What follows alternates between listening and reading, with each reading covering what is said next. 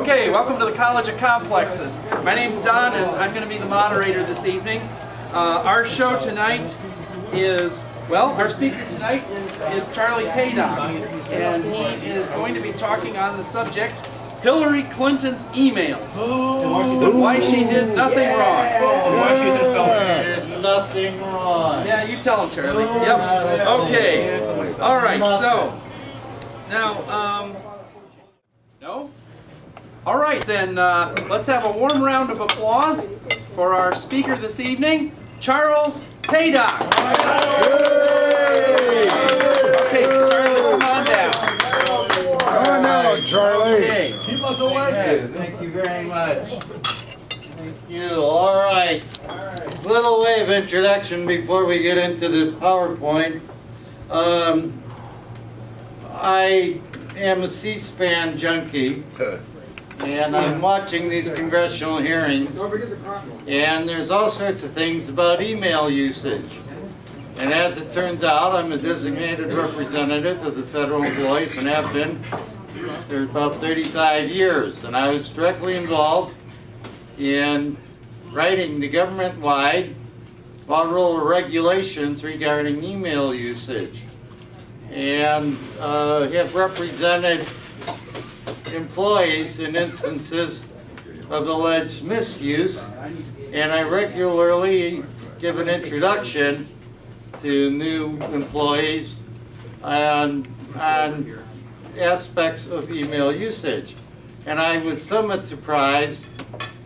I, I, when I booked this, I didn't think the issue would remain current um, and would have been, the campaigns would have been turned on to something new, but it's still fresh even in today's news.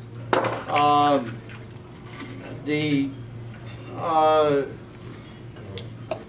the issue with uh, emails, at least my experience was, and this is aside from the talk, but basically employees were, I'd counsel them that uh, not to use emails, send emails that were a threat, or if you're familiar with Hatch Act violations, that's prohibitions against political activities by federal employees. At this time of year in particular, they may get in arguments among themselves about political issues. And the main thing is, I, it's considered, if you send an email for a candidate to your coworkers, it's considered, it's been determined to be the same as distributing leaflets or pamphlets. And if it has a little solicitation for money at the bottom of it, you may, as many political emails do, uh, you're soliciting funds on behalf of a candidate, and that's a misuse of your workplace activities. The other things about emails are, I don't want to bore you with all of this, you got to be cautious about sending blast emails. Like I send out a notices of personnel policies that go to thousands of employees. They have to be cautious in putting those out, and employees will often snitch on their, each other to their bosses. Somebody who carries water for the boss will say, I didn't get that report from Joe that I asked for a week ago. And so they'll send it to somebody's boss. And I don't like oh. snitches like that. The other thing about email usage, if there's any formal correspondence using emails, it is sent in a traditional fashion, like a memorandum in hard copy, like a letter, and they're scanned and, and put as an attachment. That's the only difference from hard copy mailings in, in this. One other thing about email usage, if practices are in place and the employer knows for it, I don't really have a term for this, but it's some like they knew it and they permitted it. And if that goes on for an established period of time, you cannot turn around later and discipline somebody for that activity.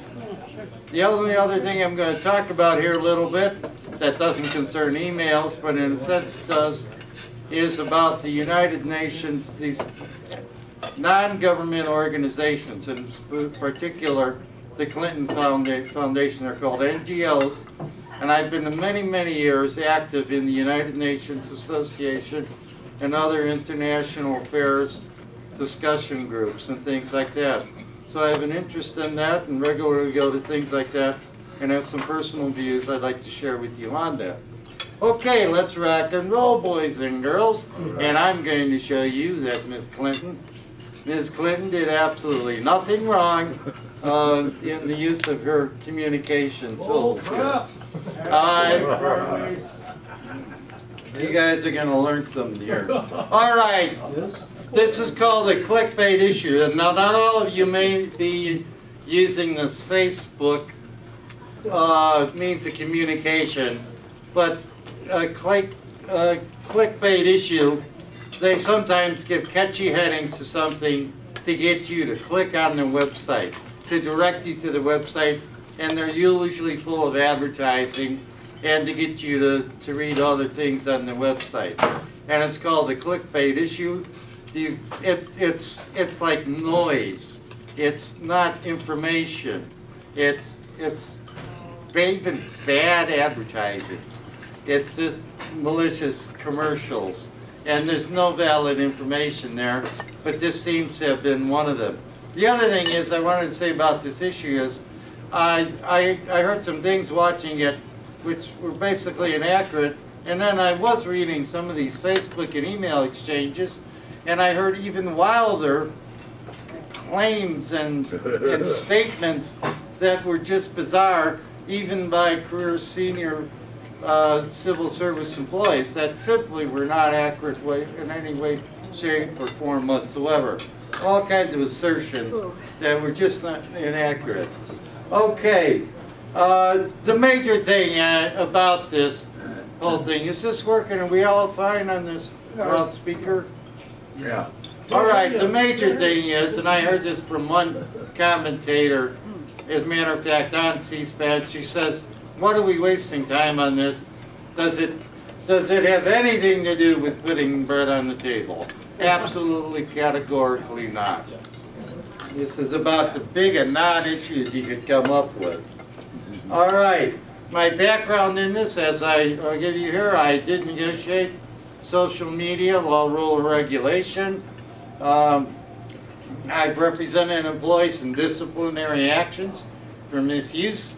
Uh, and I just had a case came to my attention a week ago. Um, and the other thing is, I'm going to talk about this this thing, this in, alleged investigations. Now the other thing is, many years ago, I was a whistleblower myself to the Congress of the United States on how, in fact, investigations were being conducted or not being conducted. And we'll get into that later. I had collected 18 specific examples because I, much of the things I would do, employees, there'd be an investigation and I had to spend all day reading these. It's called a case file. And you get these alleged investigations. And they were very poorly done very often. And, and that, and I said, this is just incredible. We have to work with these things. But it was not being done properly. And evidence is by still not being done properly. All right, disclaimer, these are my own views. I'm not speaking as a representative of the organizations I'm affiliated with, and, and I'm not officially uh, tied into the Hillary campaign. So you're getting the real truth here, guys and girls. Uh, and I realize this issue is about cut down the middle. So half of you are with me, and half of you again me. And that's just too bad. All right, I knew immediately when she declared her uh, candidacy for president of the United States. Uh, the, uh, why should I vote out incumbents? Vote against George Washington? But anyhow, there were all sorts of nasty things. I see our emails kind of screwed up here. The red is showing up as black, but um, the there were, they took her logo and all sorts of things. Uh, controversial images were being put out regarding uh, the candidacy of Hillary Clinton here. We want Bernie. Where's Bernie? All right. The, the major thing is, this was put out by a conservative website, Uh, they would like to focus, they think, they seem to think there's only three issues of concern to the voters in the United States. And they're very much upset that we were paying attention to the bizarre statements and positions of Donald Trump. Which I guess we were supposed to have overlooked. Uh, needless to say, this is this is uh, this is a less government website, and they're concerned about these three pinnacles that they think are significantly more important than that. I'm not going to spend a lot of time on this Benghazi issue because that's not why we're here. I just want to show you that it's been well known for many, many years that anybody in the diplomatic service of the State Department is often in a very precarious, dangerous positions in third world countries where there's very little law or effective law enforcement. As you can see here, that during the Bush administration, um, uh, 22 embassy employees were killed, zero investigations. During the Reagan administration, there were as many as 318 deaths with one investigation.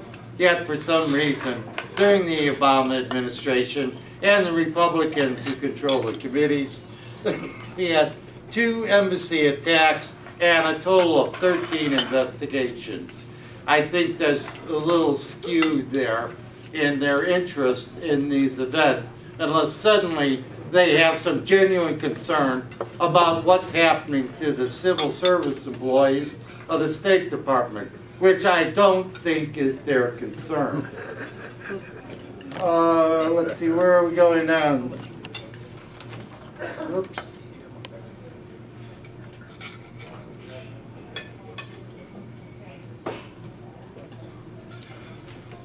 This is not right to me. Uh, Hillary Clinton, you got, End of the presentation, huh? And it goes back. You skipped over a whole bunch. Yeah, but let's Hey, get your Charlie, stick. can you, can, can, can you do it without the slideshow? No. Oh. What? Okay. just- Oh, no, maybe it's just a little bit. All right, uh, they, maybe I'll speak from here. The Benghazi report, Seat on that. I got it here. The, uh, by Trey Gowdy of Carolina headed it up. Um, let me find that thing here, but anyhow, um, there was no finding, this is the Benghazi investigation.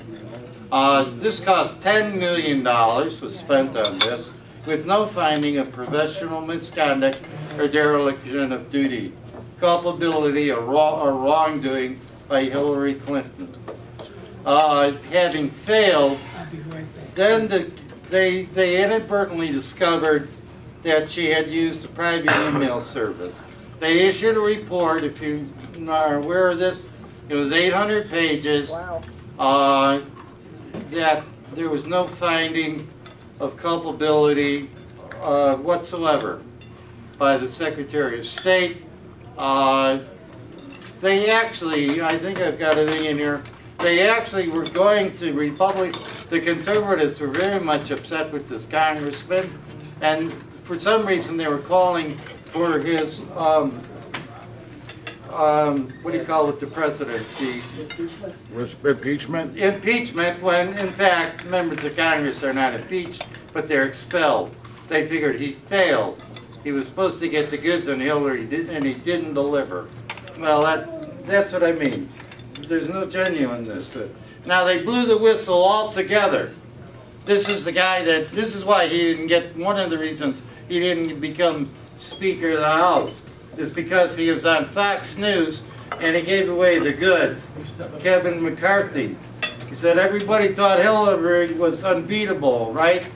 Um, but we put together a Benghazi Special Committee Select Committee. What are uh, Her numbers. her numbers today? It was strictly put together, not to arrive at truth, or to to emulate any concern for the, for what happened to the people at that location, but instead pure, pure politics. Uh, That's what I'm talking about.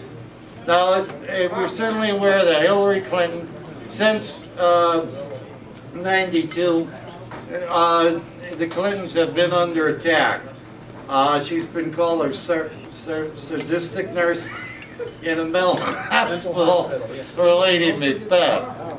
Yeah, she's a nefarious character.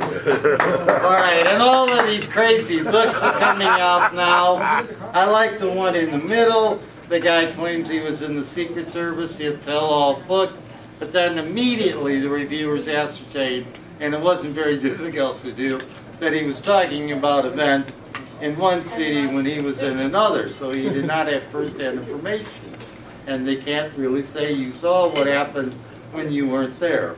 But anyhow, people want to make money doing this, and people will buy it. Um,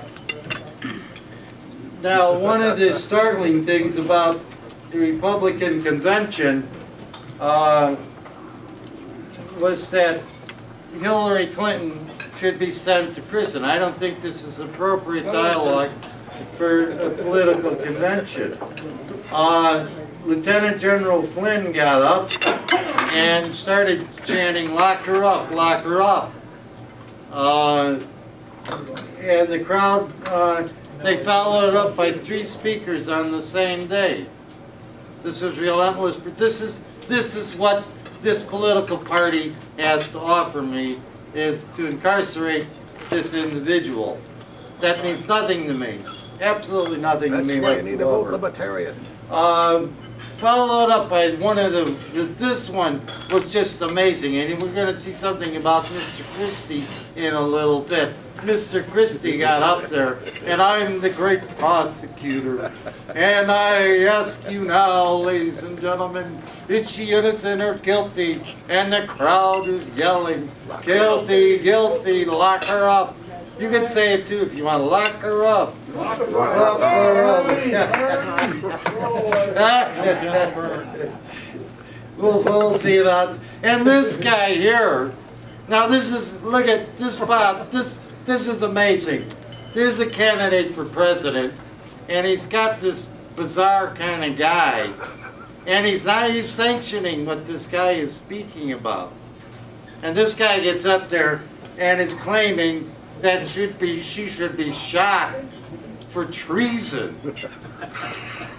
For email usage. You should be shot?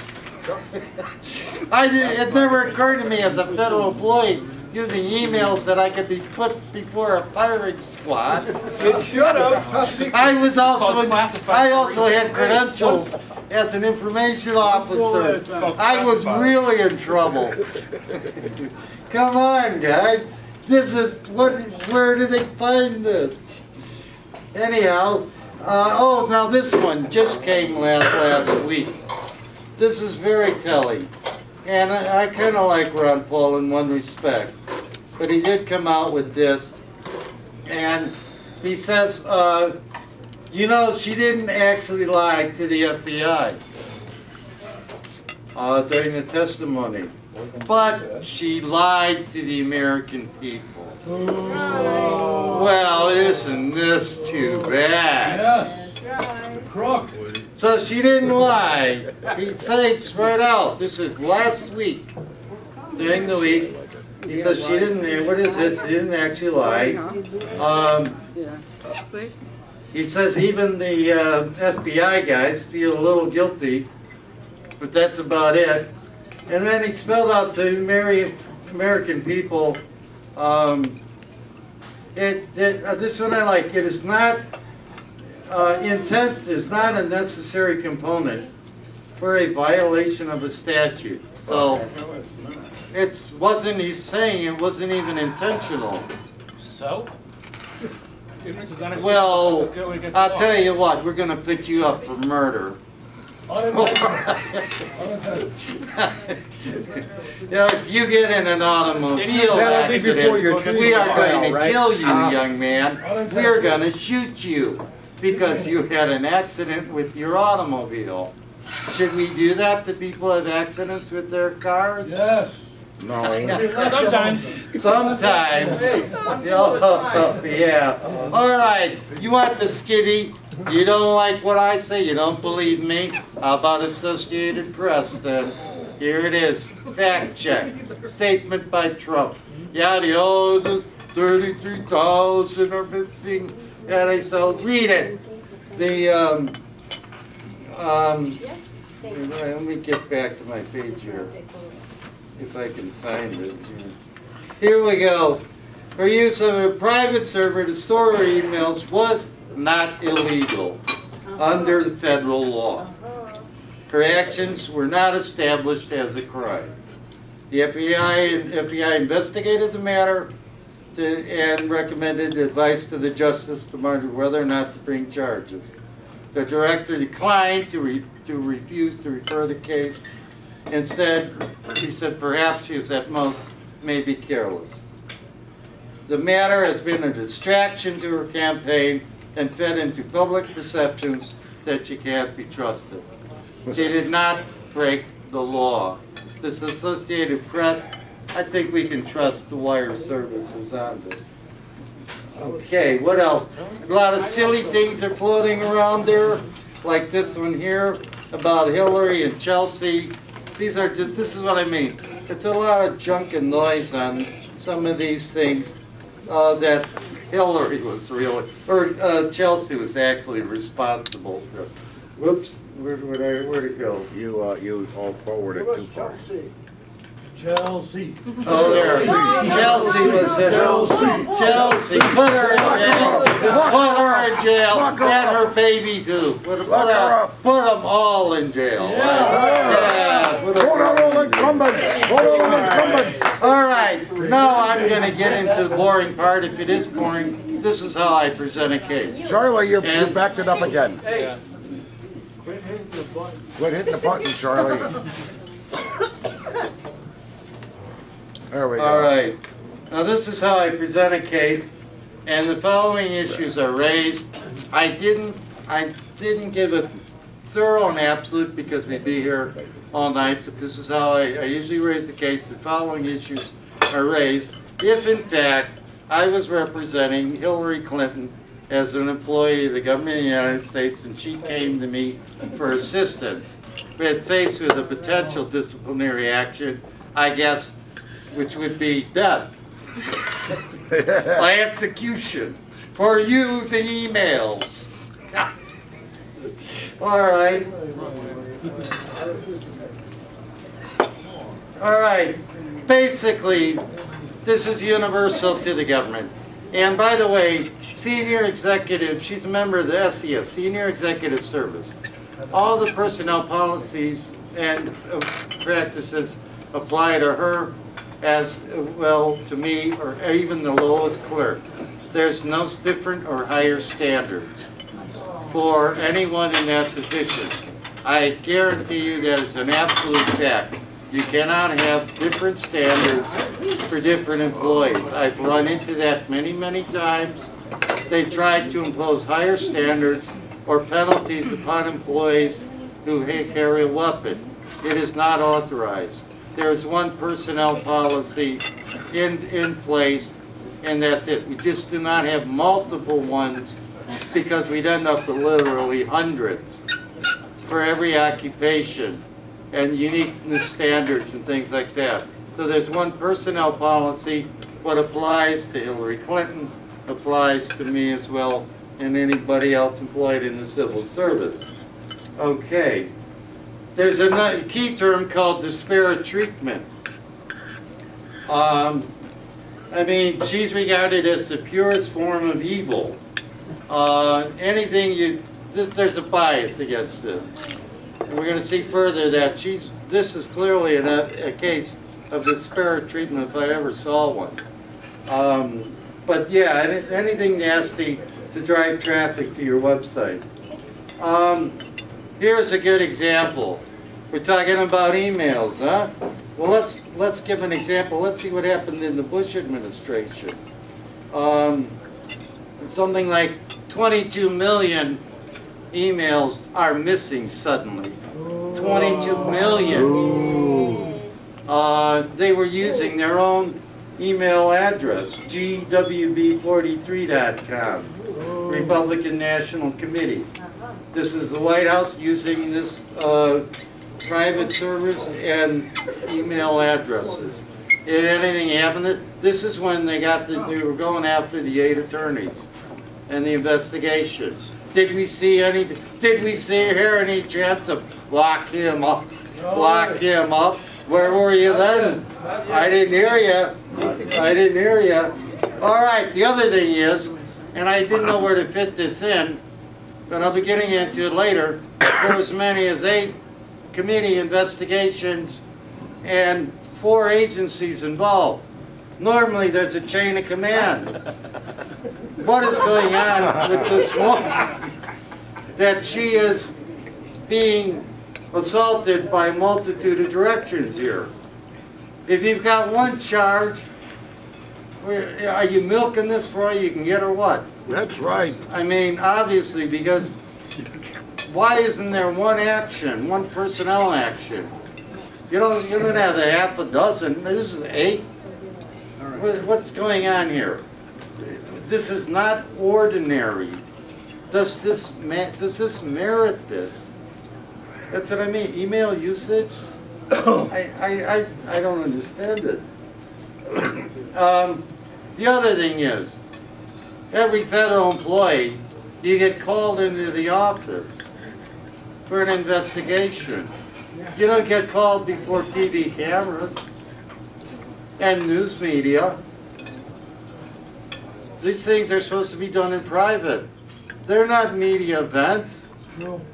These are, this is a personnel action that, if there's corrective actions, to avoid embarrassment. This is a universal government law, personnel policy regulation. This is not just a good idea. You don't, this isn't, and the term they use is a media circus. That's what this is. This is, this is not, this is not how the government does it. We're supposed to do this. If I, I don't even discuss cases at all with coworkers or anything. And say, oh, what's happening to Susie? I say, well, I changed the subject. You know, even I, and those little things, but certainly something like this, uh, you don't do that. Another thing is, uh, this is one that really bothers me, is that there are very strict time limitations in terms of imposing discipline or taking action. This has to be the record. I mean, supervisors will not store up criticisms. The reason for this is, is in order to defend, the burden of proof is on the employer, the accuser, and then the other side has to recreate the situation. Recreating a situation from seven and a half years ago, from 2009 when she started using emails, this is unheard of. I've never even heard, I've had cases dismissed for six months, 12 months, because they didn't undertake any action. I said, I'm handicapped in recreating a situation. Stories change when you talk to witnesses, even within the same a day, two or three, let alone years. Try and find the people involved in the situation, if you can. They're possibly not there any longer. You've got to, this has got to be timely in some fashion. Uh, the reason you do this is that it allows the defense to claim harmful error. Had you done it correctly, would you conceivably arrive at a different conclusion? In this case, absolutely, totally yes. Harmful error is a very common defense. You did not follow the procedures. And this one is like a procedural nightmare. This is ridiculous. Uh, Now, there's another thing. I hear some, oh my, she had a personal email and using a government equipment. For the beginning of time, federal employees have reasonable personal use of office equipment. When I'm at work, I can go into the Hotmail and this you may not, I don't tell anybody, please, but I've actually done some stuff for the college of complexes on the government computer, like a website. I felt it, I felt it. Uh, And would you believe that for many years, the phone number for the College of Complexes was, guess what? My office. Do you see me in prison? Do you see me before a execution squad? You're going. Um, as a matter of fact, and I didn't, I'm not gonna get into detail on this if it was a real case. I know for a fact, at least one agency, if not others, uh, in fact, require employees. I don't know the reasons why behind this. It's way beyond my need to know right now. But federal employees are obligated because of these systems and browsers and whatnot. I was obligated to get a Gmail account strictly for work-related reasons. I didn't read the details. I didn't ask why other people, but you had to get Gmail accounts in order to get the system email. I don't know why, but it seems to be the case with other employees. So now you come along and say, oh my, you're using personal email, but in fact, you obligated and made me do it. Because I said if I didn't get a Gmail account, I wouldn't have access to the email system. So I didn't have any choice in the matter. But now you're gonna come along and say, oh my, you have a private email account, Mr. Paidock. That's, did they get, that's two for you, pal. All right, next one is, um, these are, there's not like any factors imposing discipline. Now, was the offense intentional or technical or inadvertent, or what it, was it committed maliciously or for gain? Yes. Yes. None of those qualify. Inadvertent, mali- the thing is, people do things that are malicious in the workplace. It certainly is not malicious. I'm not aware of any personal gain. As a matter of fact, it seems like routine duties. Now, the thing you have to think in mind is, why, why would, why would Miss Clinton, we'll get into this later, be cautious or worrisome about government emails? Well, I think she had intentions of running for the office of the President of the United States. Now, looking at about half a dozen web pages, most of which are kind of bizarre and crazy, it appears that some parties have been after the Clintons for a good many years. And they have no qualms whatsoever about making up conspiracies. There's probably 22 conspiracies against the Clintons. Uh, the last one I saw recently was something about they were purposely dealing with these people of another sexual orientation for the express purpose of destroying the family. Which of course is true. I, anybody, everybody knows that. The Clintons have been plotting this for years uh, to rid the American society of fam, nuclear families. You know, but um, yes, uh, she had to be cautious and with good, very good, solid reason.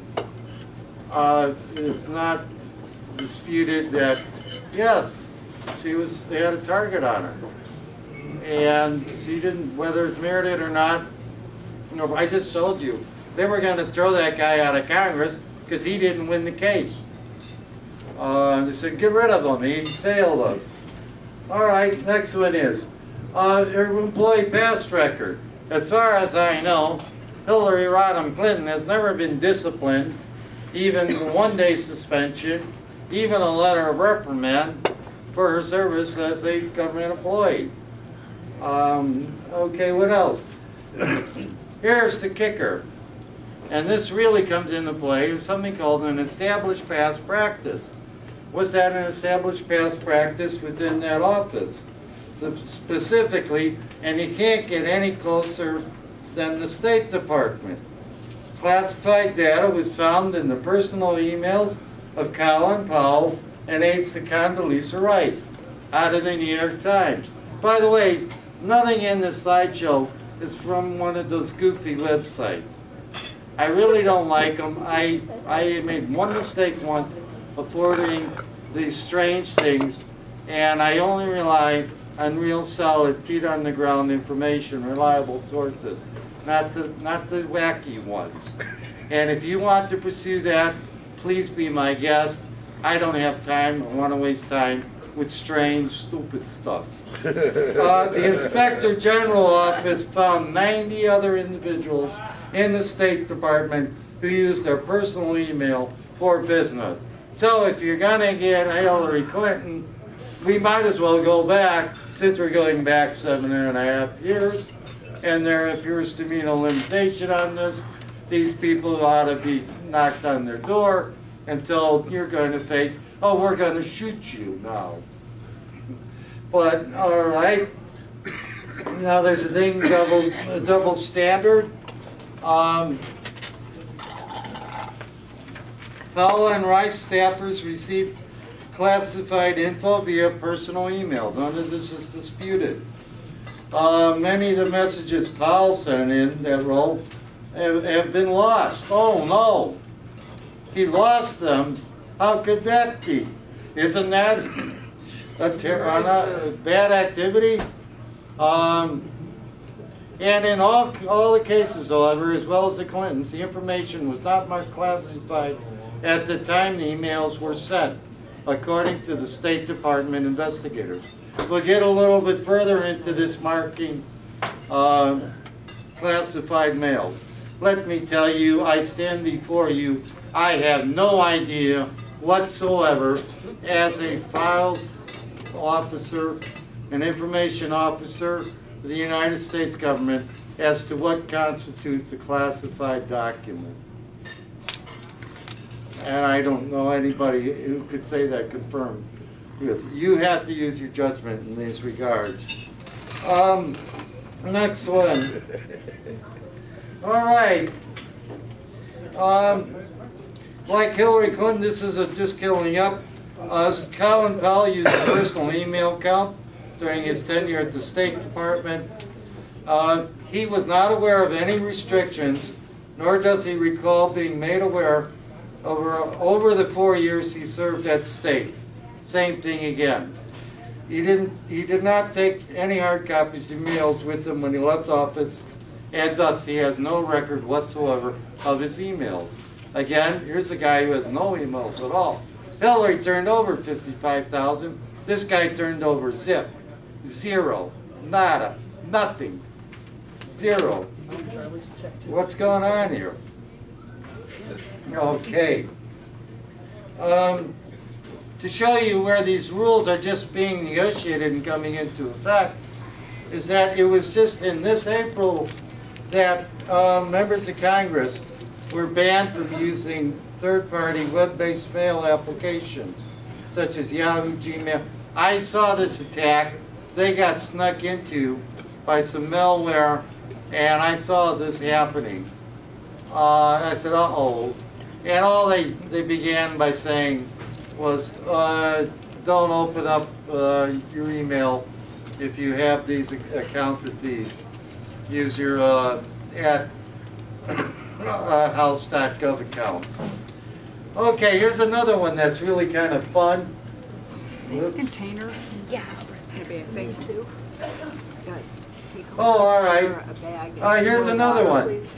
That guy that was going after Hillary, right? Oh my God, you got emails, Hillary. Look what he's using there. TreyGowdy.com. At the sa- can you believe this? At the same time, he's ranting and raving in Congress, and he's got two separate email accounts and servers. And he's going, oh, this is terrible. This is terrible. What can we do? He actually, you gotta have guts to do this. Really, he didn't know he was doing the same exact precise thing. oh, let's go to the chairman of the other committee. He's another guy. This is terrible. Woe is me. What can we do? look at this guy using Gmail. It's on his business card. oh, here's another guy. Oh my, this is terrible. Uh, oh, let's, I told you, now we'll get around to the great prosecutor. He said, I will prosecute her. And look what this guy does with his email. He's only missing 10,000 of them. A small player, right? But I tell you what, he, uh, he, uh, he had a, his personal email account. He, but he even took the hard drive home. Oh, he said, oh, this was campaign strategy and press, press uh, strategy stuff here. You know, yeah, yeah, he, he just decided he wanted to take over 10,000 emails. He didn't want anybody to see because he likes privacy, I guess. He's a private kind of guy, you know. Yeah. Talking about that bridge. All right, here's another one. This is a Republican. This is a defense guy. He says, I don't know. I can't tell. He says, I'd be in more trouble than Hillary. He should be shot. So, yes, another guy that should be shot. He's a military guy. He says, man, I got, I was confused. All right, let's see the next one here. Oh, um, no, this is great. Talking about emails. Now, this is emails that are not allowed. And Mr. Trump and his sons were soliciting campaign money overseas, which you are not allowed to do. You've got to have an address in the USA before you start contributing to campaigns. And you're telling me they didn't know they were soliciting overseas. Now, these guys don't know anything about running a campaign or how to solicit money. So they probably begged off on this one, said, well, we didn't know, we ain't done this before. You know, but anyhow, Trump and his sons uh, were soliciting money in violation, clearly in violation of the statute regarding campaigning. Uh, we're not done yet. I keep hearing, oh, that Miss Clinton was a liar. She lied. She lied. Now, Trump went to sue these guys for writing a book about him. Because he didn't like the book. He said he didn't like what it said about him. So, but they caught in 30 lies. And I love his, he admitted it, but he said he blamed others for the error or explain that the untrue thing really was true in his mind.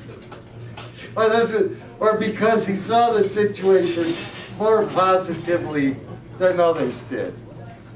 This is ridiculous. It's a good answer. I'd love him to have to use this. I just see things more positively than you do. Chuck, why did you lie to us? Well, I just saw it more positively. Come on. This is. Uh, now here's another one. Government-wide regulation. And before you discipline, apparently she did discipline. You're saying, oh, inadvertent, inadvertent thing is punishable. Not so, my friend. Not so. You have to be given an order, and very much you have to establish the clarity with which that that order was given. You just don't say, well, they should know, should have known this. No, the clarity very much determines if there is in fact any punishment, what that punishment might be. The clarity which the employee was put on notice of any rules that were violated in committing the offense. Now, here's the thing about this. She's a member of the Senior Executive Service, and well, I'll show you a slide, we come into it. Every office, agency of the government of the United States is somebody known as a CIO, the Chief Information Officer. This is the person in charge of the computers and the emails and social media and stuff like this. I assure you, I can guarantee you that that department was fully aware and setting up the chief executive officer of that agency in business and knew everything about what was going on. They went regularly to meetings. This is part of the inner circle. And nothing that was done was clandestine and was done without their full, complete knowledge and concurrence. Absolutely categorically. That I, would you, this, if there's one employee, believe you me, if I call the service desk and need some help, they say that's just that jerk on fifteen, Charlie. But if the, if the senior executive calls, there's usually an army of people dispatched and usually very knowledgeable ones who know precisely what's going on. Actually, I have pretty good service. I've got Wi-Fi in my own office, pretty cool. It's, it's pretty nifty, you know. I'm the only guy who's got that. you know. Crook, you're a crook. Yeah, you got it. All right, now here's another one. This really is, when you discipline somebody, you always ask, well, they did, allegedly did something wrong. Well, how did it hurt the mission? Or was there, was it necessary to do some corrective action? Or how much did it cost the government? How much did it cost? How much money was misused or lost? Any, in this case, I've looked to it and I can't find a, a penny. Zero. There was, there was no, nothing happened to the agency. There was nothing on the diplom- diplomatic relations of the United States that were affected. There's no country reference. There's nothing. So you're saying, oh my God, there was terrible actions. Well, how do you determine the penalty if there's no harm? How was the agency hurt in accomplishing its mission? Was it delayed? Or did they have to have other people come in and work six months to correct the mistakes or what? Nothing. Zero. What? What? Well, then, why are we here? That's what I would ask. Um, how were the U.S. Foreign Affairs affected? Is there anything that I, I can't find out? If you can find out for me, let me know. I give you my email address, my personal server. Uh, diplomatic relations, what needed, what country was, what diplomatic relations were, were affected? Zero. I don't know, I never read anything. Uh, what was the adverse effect of any treaty or trade policy? Zero. So where's, it's called a nexus, what's the connection? How do you know it was bad? Was it a little bad or a great bad or just a feeling, I always say that, I guess it's just a feeling you have in your heart that it was harmful to the United States. You know, but there's no evidence. All right, let's go on the, whoops, let- let's skip one here. Oh, that one we got. All right, records management, this is kind of boring. Uh, I mentioned the chief information officer. I looked up the department of the State Department. They seem to have qualified people there. As a matter of fact, they must have immeasurably qualified people because they've, they've got two hundred and fifty international offices that they have to establish communications with on an ongoing, uninterrupted basis. And they're sending out six million emails annually. This is not a small operation. They know what they're doing, and they certainly knew and set up so that the, the senior executive could communicate with those offices in an appropriate fashion. Uh, the other thing, uh, you or I, if you'd like, could become a virtual fellow, talk about sharing documents over the email. You may or may not be aware of this program. You might be interested in this, Don, but you can become a cult consultant to the State Department. And I assure you, they, I don't believe you're gonna need security clearances either on this. I doubt that very much, because it's fairly expensive to get a security clearance.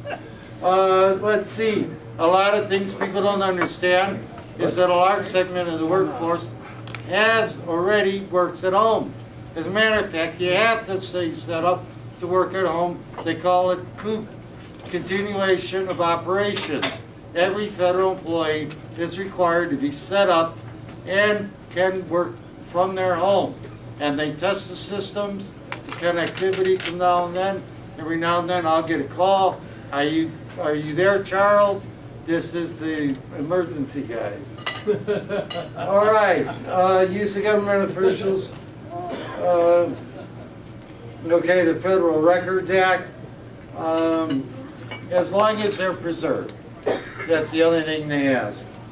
Um, she had every expectation they'd be preserved because all of her communications, nine out of ten, were going to government employees. Um, and when they asked, they quickly sent the records in. Oh, this one you cannot see, but I wanted to throw that in here. It's missing in here because you know what you can't see in here? Actually, it will because our equipment isn't working too well. Guess what you see in there? There's a confidential communication from the uh, techie people. And you know where it was sent? It was sent to cpaidock at hotmail.com to my house. Uh, the laws. Listen, Charlie, we're running out of time here. How We much got- time we got? Well, it's seven twelve, and we gotta finish the Q and A by seven fifty. Well, let me finish. Let him finish. Okay. Yeah, I got it all. How much more time you reckon? Well, I'll let you know. Let him finish. Let him finish. And you thought I was bad. Let him finish. All right, the laws, um, Federal Records Act, you can get through these. Uh, the, the government also has an open data thing which says we're supposed to open up communications, which contradicts it, so doing that. Uh, WikiLeaks is basically, from my perspective, a worthless bit of information. Uh, how they came up with twenty-three thousand. Uh, another thing is regarding this confidentiality notice, it finally occurred to me that every now and then, coworkers, we were putting these on emails. Ah, And I, I I said, I know I've seen that someplace. But Yeah, but it's not out, I don't universal. know about that. I don't Um, know about that. classified documents, there's four types, there's a little confusion about it. Um, the, uh,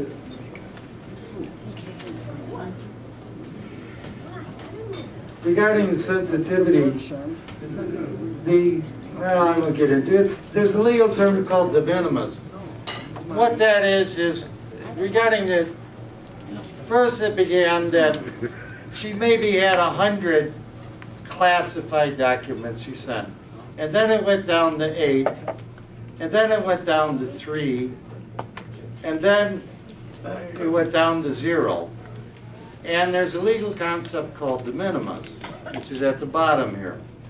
And out of 55,000 emails, this is clearly a case where you could claim de minimis, meaning that's an insignificant number to take any great action on. It's a minimal number in, in, in comparison to the about six million communications. We're talking eight or three. Uh, That's not the way the law works. You gotta have it over a period of four years, she was secretary. Um, all right, they're saying that none of the emails are classified. Um, Actually, the rules only came in effect after, this is very important, the rules took effect after she left the agency. Um, So that, they say that you may have not violated, oh, I like that, she may have not violated, she did not violate the text of the law, but they argue she violated the spirit of the law. Give me a break. That's ridiculous. Uh, another one I heard, oh, there was gross negligence. There's no such charge. That's not a conduct issue. That's a performance type thing. There's a distinction between performance and conduct. Meaning you didn't do your work or do it properly is not a criminal or punishable charge. You may go pull another route to deal with the issue. It's just like an employee who is a guard, and let's say they weren't at the guard station. You don't punish them, you, you go through another route. There's a distinction in labor law even between this, which route you choose. So there's no such thing as gross, like, oh, there's gross, no, it doesn't exist. Discipline procedures. Here's the basic things you can do. You can do nothing. You can do some administrative action, and then you can go to criminal. There's three levels oral, administrative, and criminal. To make that jump to the third one, not easy. You really gotta have some theft, some profit to go into criminal charges. I rarely see that. They, I've had many, many cases, They're all reviewed for severe penalties, and almost never is there criminal action taken. Um, investigations. Three things I was yelling about with Congress, they're undertaken when they should not have been. They were not done when they should have been done, or they were poorly done or incomplete, uh, or excessive. Not too bad. Um, one other thing, Ask her. Yeah, I'll ask her. There's another, even a thing you could accuse management of this, there's a thing called excessive abuse of management authority. They said they, they sent out, this was, this was facts, this is baloney. But eight, eight committee hearings and four agency investigations, to me, is an excessive abuse of management authority. That's, there's nothing that merits that. Uh, another thing about these NGOs, about the Clinton Foundation, I've known about them for years.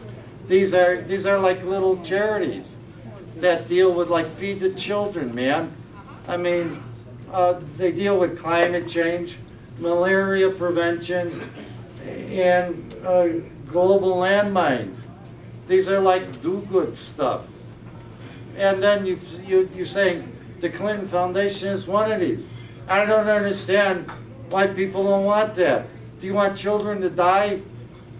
Clinton Foundation was working on HIV uh, pandemic. Do you say, stop what you're doing? We want children to die? What kind of sense is this? There's no logic. I don't understand it. Uh, yeah, it's, um, I don't, this one I won't even get it. Are there people that apply for jobs? Every day of the week, we used to get applications and resumes. Yeah, you refer them to personnel, whatever, I, you know, they're gonna communicate with them. The thing you gotta, that just came out is, the guys who were really mucking around were the think tanks. Those are the guys who were taking cash, uh, from foreign governments and trying to influence policy, because that's their primary function, is to influence policy. Those are the ones, and this was not the Clinton Foundation by any means, way, shape, or form. Anyhow, we spent twenty million dollars on this, we didn't get anything. Uh, she was not guilty, uh, there's the, the exact words of the FBI guy. Uh, the other thing is Clinton was going to the Russians. Uh, I think he crossed the line in that regard. Now, that's something that's inappropriate. Uh, just a little picture of files. Um, the other thing about documents, we'd like to see the IRS of Mr. Trump. Um, there's nothing that stops him from making this public. I just wanted to throw this in, but he's basically a nice guy. He went down, he concerned about the people in Louisiana that was flooded. He spent 40, he spent 49 minutes, 49 seconds. They made a little video thing, and he got on his jet and left town.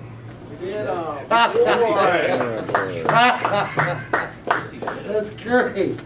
Oh, anyhow, you can know that you're all graduates of the college complexes and, and, and they're this outfit. All right, thank you very much. Okay. There's the scorecard.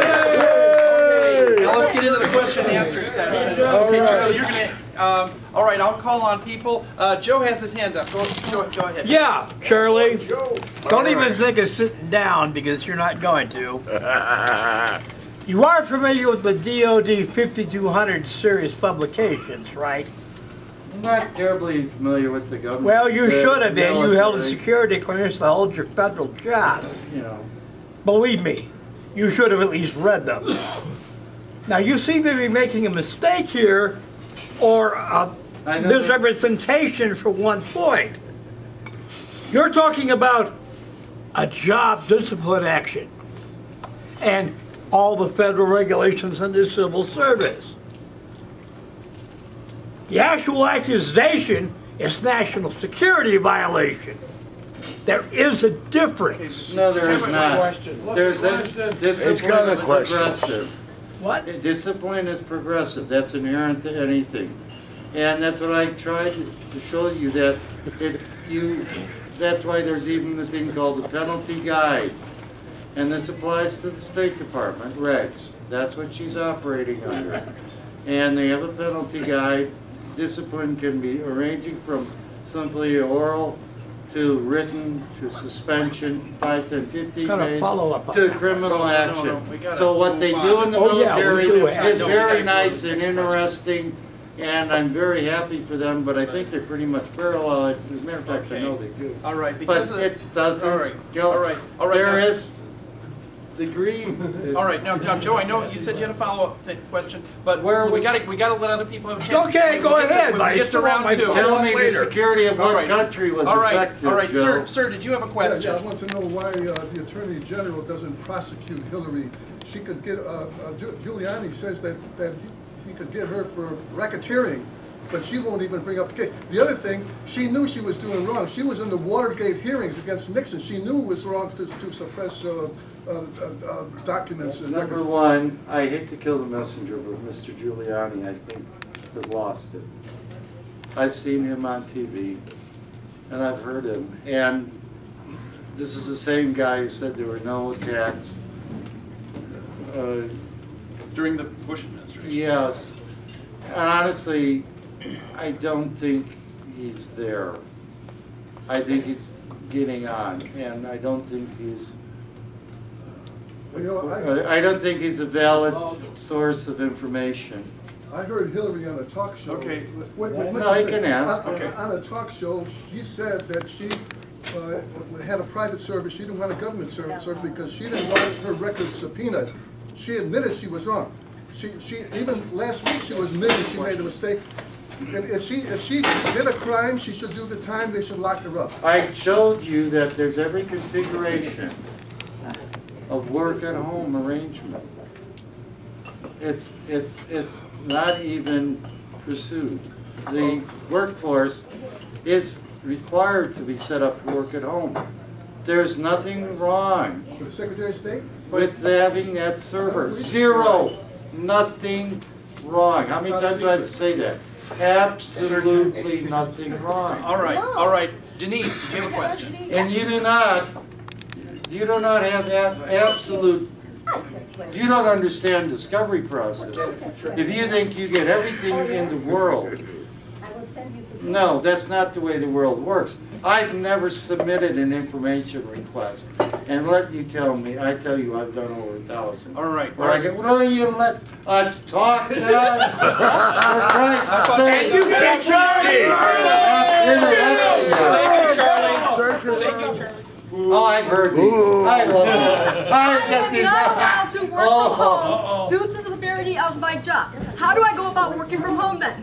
What, how do you? How you- do I get to work from home? You said we can work from home. They told me due to what I do at work and due to the classified information we handle, we cannot work from home. You have to see the negotiated agreement of your agency. We don't have one. We don't have a union. Well, it, that, there's your solution. Get a union. Have Well, kind I'm gonna have to talk to you about that because you told you. I was You telling you have you said I to- can work from home. How do You I go know- about doing that? we came, where I worked, the union was actually in trusteeship. A few of us put it together, and we began gradually. One of the things we did was, the first thing was to have flex time. We could come to work between seven and nine. Um, And then we went to these flexi days where you get one day off, you have like nine hour days.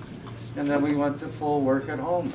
So it took a while, but yes, the union was the non-existent, existed only on paper.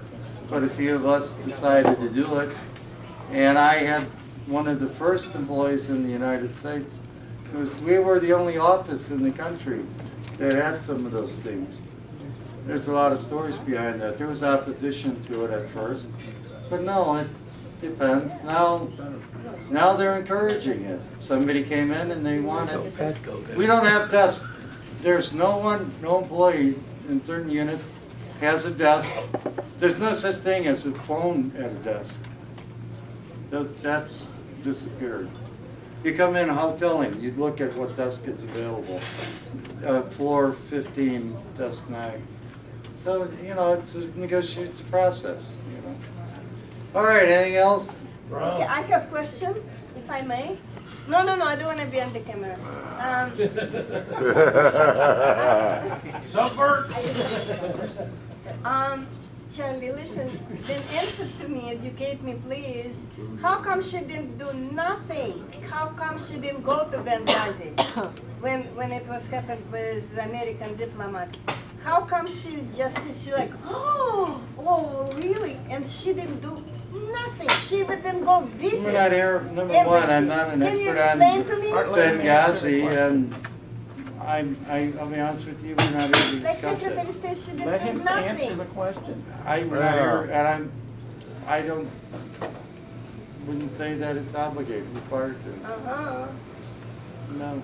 Okay, That's absolutely, look, she's got two hundred and fifty offices. You know. okay, Brom.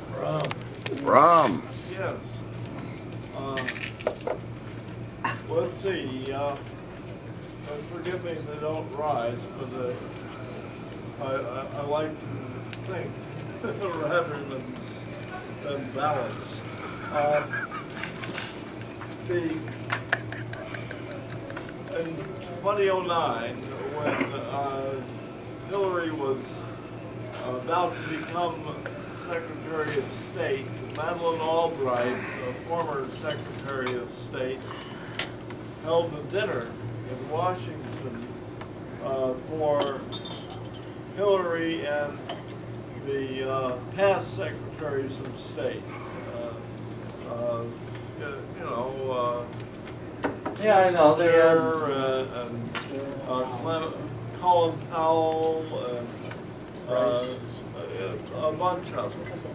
And at that, she asked, at the end of the dinner, she asked that the other secretaries of state, uh, besides herself, uh, give Hillary some advice on uh, what they had done.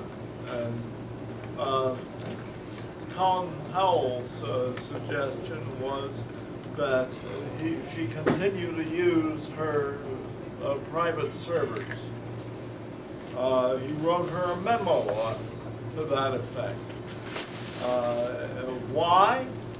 Because those lines would be more secure, because the more lines you have, and they're- they're not, if somebody wants to tap into uh, State Department secrets, they go to the State Department uh, system.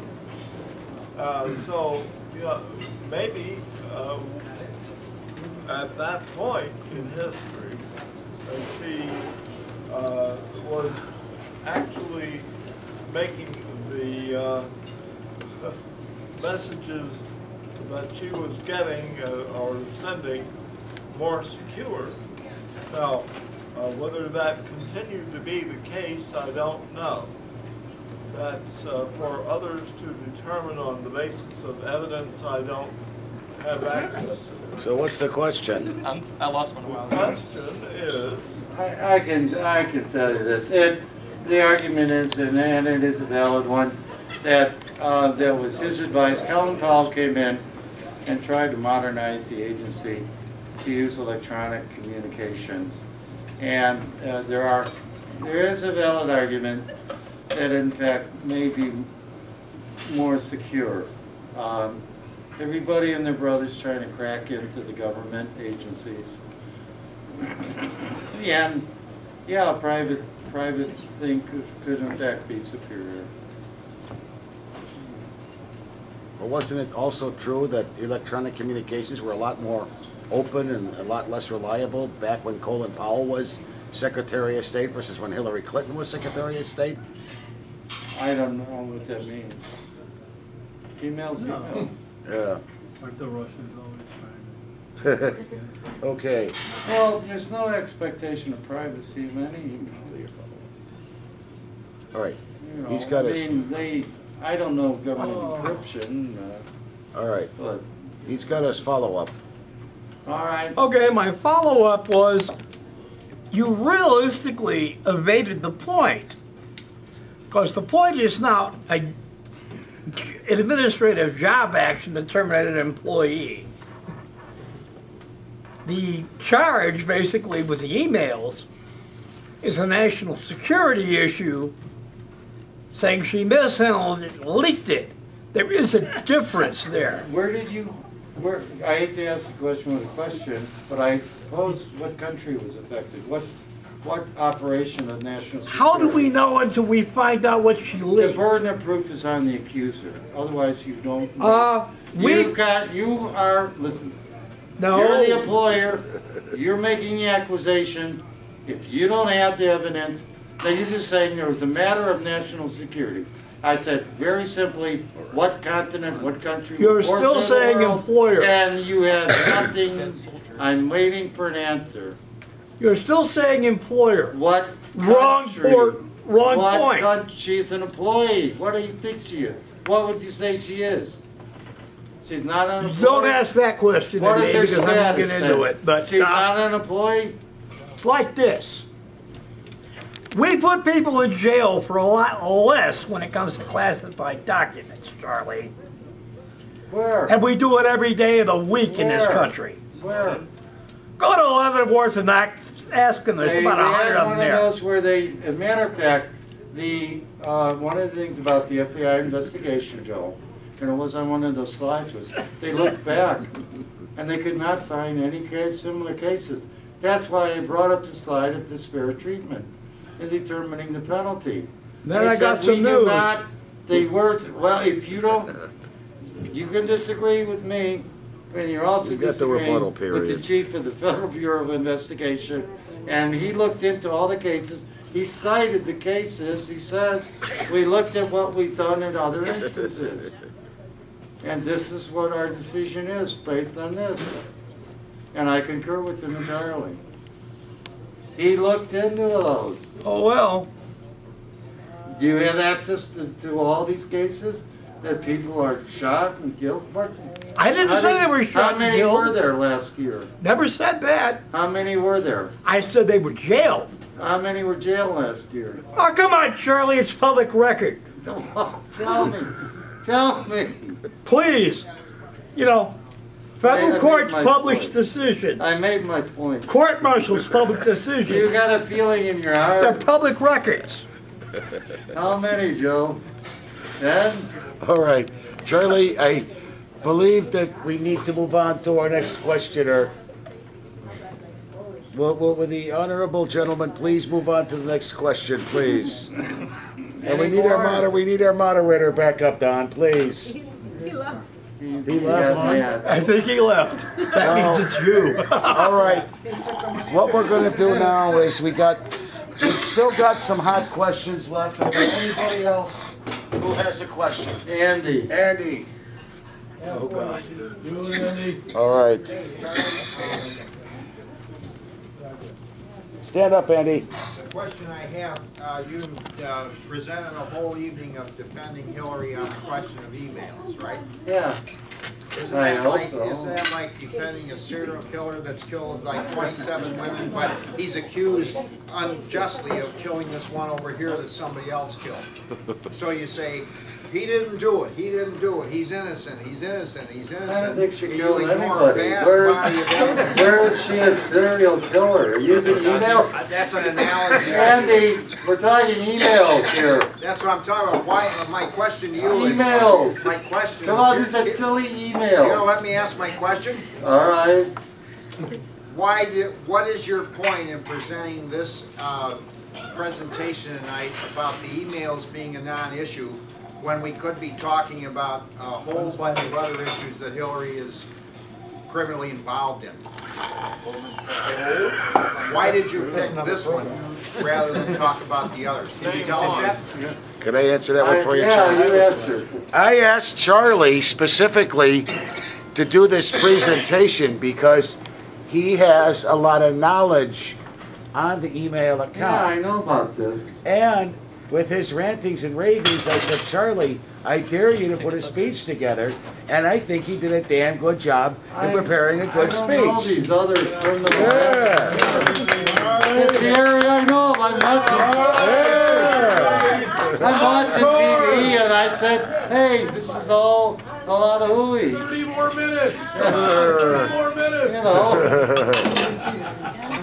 All right, I have a question. All right, all right, all right. Let's get him over here.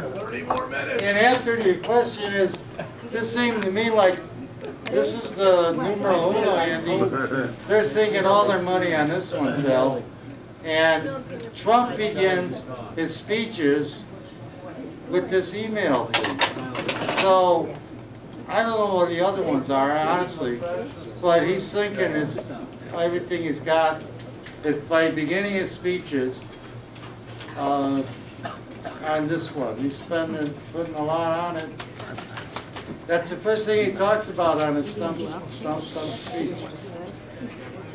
So why would he, you know, and I keep hearing about it, so, He have question. all right, what do you got, Danny? All right. Okay, Danny. All right, so there's a new investigation going on now, right? I mean, what do you think of that, of the new investigation of Clinton, Hillary right now? What do you mean? I mean, do you think they might find anything in this new investigation? You, um, the longer you go on any of these, the less, and this is from the pros, the longer you go, the less likelihood there's gonna be something. If you don't have it now, it ain't gonna come out later. I, I would find that highly, that's what I mean. There, you don't always, you only have half the story when you go in, and the other side is the other half. But be honest with you, if they ain't got it now, I'm, these are what prosecutors have to decide.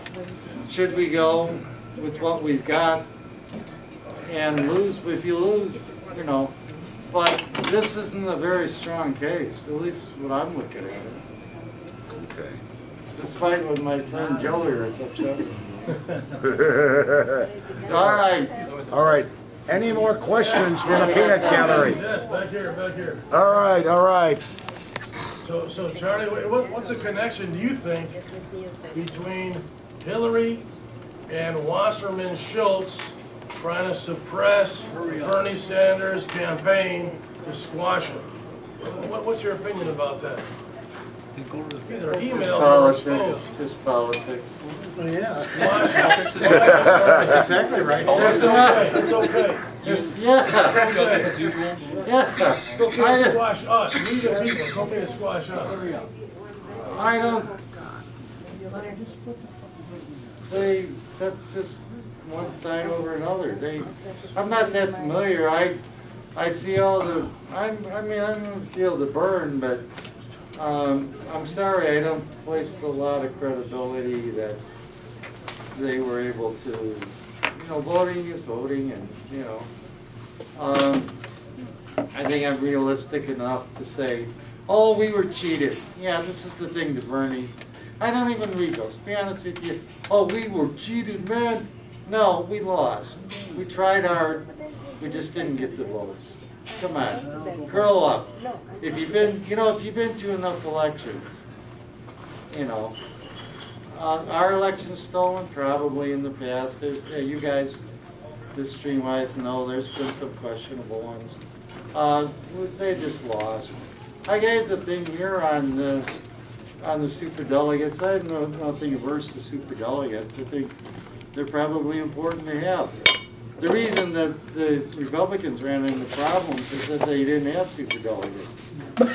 And so you had all these, you didn't have the the, that's what I mean, those are the people who are the party. And they earned, paid their dues, and by virtue of that, and then these other people show up and become delegates. Like the young lady in my neighborhood, you know. It's nice, she wanted to be a delegate, got some five hundred signatures, but she's never really done anything before for the Democratic Party. You know, all of a sudden she's voting, you know, I- it's a start, you know.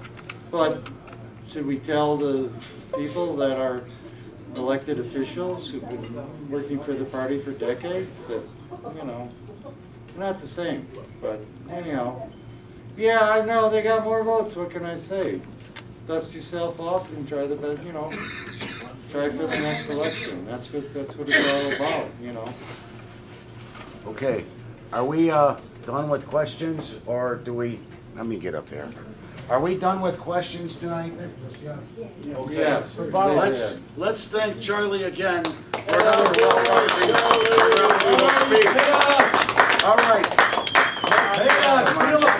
Come on, Charlie. Charlie, Charlie, Charlie. All right. Charlie, Charlie. You guys know the drill.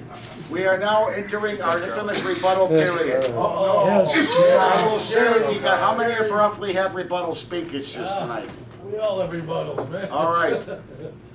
Uh, let's go to four minutes, but doesn't necessarily have to be used. We got a clock up here. I'll forego my giving a rebuttal tonight, just so that we can keep everybody moving. But we'll, we'll, if there's time at the end, I'll give it, but let's, uh, get these things started. So there's a clock, I'm gonna turn the computer on so you can see the clock, and then we'll go from there. All right, four minutes. Let's get the on-deck chairs so we don't have to waste time. Okay, now comes the fun. Charlie was the custodian of documents for GSA. He knows all about security, he's, at least he's supposed to, but he claims absolute ignorance about it now, saying it's discretionary. No, it's not. Oh, and for a Secretary of State who has gone through all the briefings and everything else to claim the same thing is really ridiculous, especially documents that pass through her private server. She should know if anything was in them was classified. To say, well, it wasn't marked as such, she should already know. Now, second of all, this is not an employee union versus employer action. This is a national security action. This is a criminal case. It should have been. Had the FBI done it, they wouldn't have said, gee, we want to terminate it from federal service.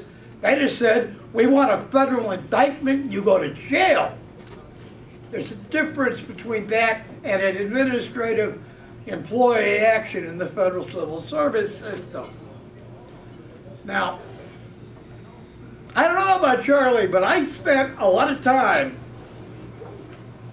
in the intelligence services of the United States, in the Army.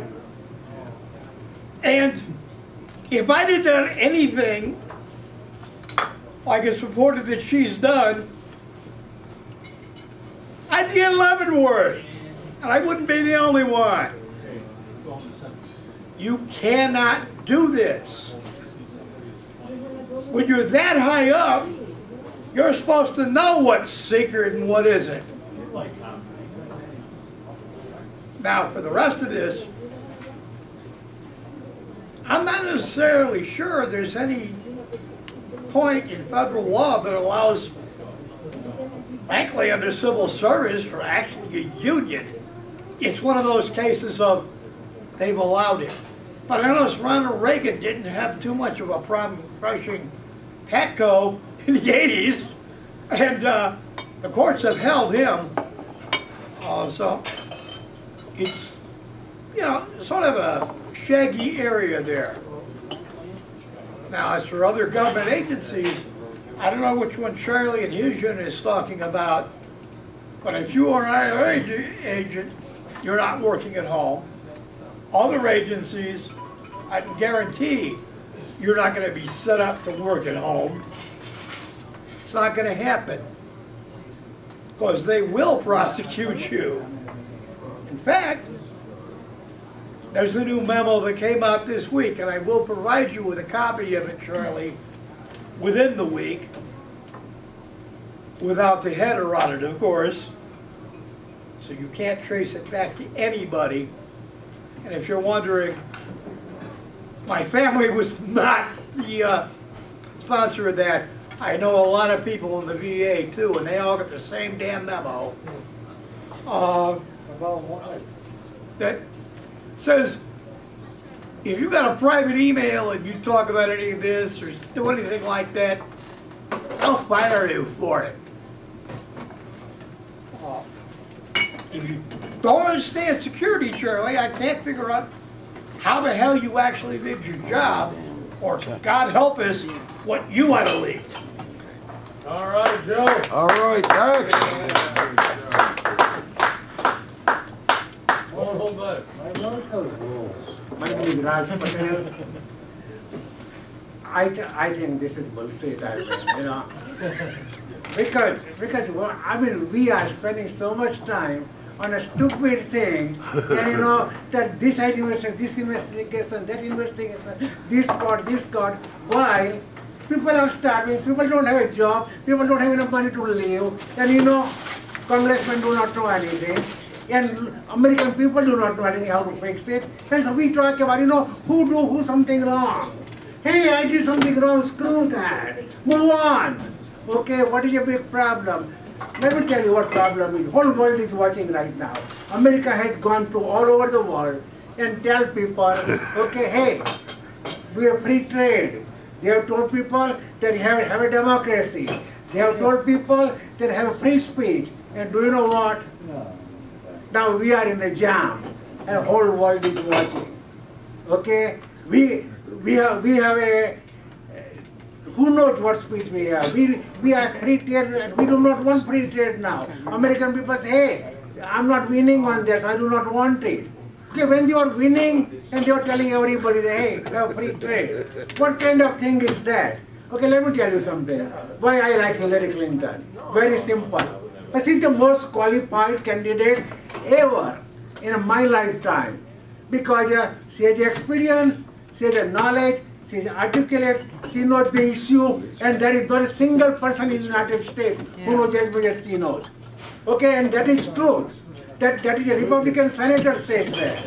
Okay, and Republican senator who asked that Hillary Clinton sitting as a president against uh, across the state from table from you, would you like it? He said, of course I will like it. Do you know why?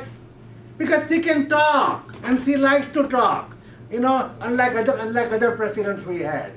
So that is important. And do you know do you know why, Trump and Roger Ailes and, and, and that that what is banana guy Steve Bannon guy, they're criminals. Everybody knows they're criminals. Okay, they were wrong. Okay, nobody's a problem with that. Do you know something? Sometimes you have two girls and you want to select one, okay, and both are lousy, and you are living in a small town or nothing else. You select the best you have. Otherwise, you know, you go single in a bed. You know, and that's what life is. Uh. You have a two job and, and you and that's what you offer you have. You take one what you got. Okay, what is belly aching about? I mean, if you have a if you have a candidate better than Hillary Clinton, put present him. Okay, and do you know something about about Bernie Sanders? Okay, He, he, he bought a seven hundred thousand dollars house. Okay, just now. Okay, and hey, who knows what? He made a she, she, she screwed two hundred thousand dollars of settlement with the school while she was away with com- campaigning with him, campaigning with her husband. Come on, life goes on. I mean, we are not going to screw everybody. And do you know? There, there is so much junk there, so much junk there. We are wasting so much time. Congressional senators and congressmen, they do not know the issue. They don't have time to know the issue. And do you know what they do? Yeah, you know, I was a student, ca- student cabinet here, and they, they comes a half a million dollars budget for sports. It takes us one minute to pass. And you know, and this committee has requested thirty dollars for a copy and that thing, because they can have some other, you know, people to speak. And we had half an hour discussion. I mean, come on, you know, this is what we are talking about. Nobody is talking about solving the problem. People are creative, who do, who Okay. somebody wrong. Your time's up. Okay. Next. I- I- All right, all right, Sid, let's go. Say Brian Bernie Lauer. Say Brian Bernie. I. Actually, uh, Colin Powell and Condoleezza Rice done exactly the same thing. Colin Powell destroyed all his emails. But this is actually nothing but a witch hunt. That's all it really is. now, why did we go into Libya? We sponsored all these militias that wanted to overthrow Gaddafi. And these militias came in and they couldn't overthrow him. So what, what happened? The United States comes in with warplanes and bombs Libya and destroys the Gaddafi government. Now, the, the African states, for the most part, supported Gaddafi. Why? Gaddafi, people in Libya, for the most part, had a pretty good living. They had security. But what did we do? We said, he's a dictator, he's a dictator, over and over and over again.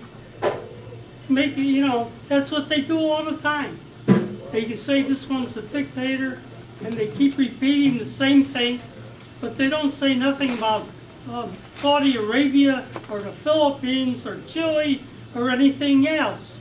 That's their dicta- dictatorship. That's why they don't say it. But the main thing is the oil in the region. That's why they went in there. Now the militias have taken over, but they're just fighting each other. There's no agreement amongst any of them. They're fighting each other, killing each other, and somebody comes in to um, th- that area, I forgot the name, that they were in, these diplomats, and killed them.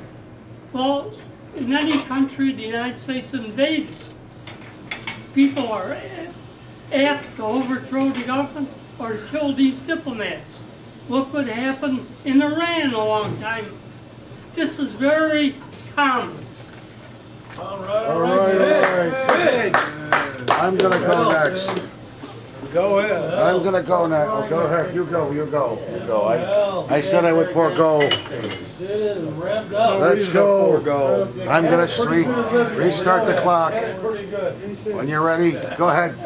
I agree that Hillary Clinton carries a certain amount of baggage.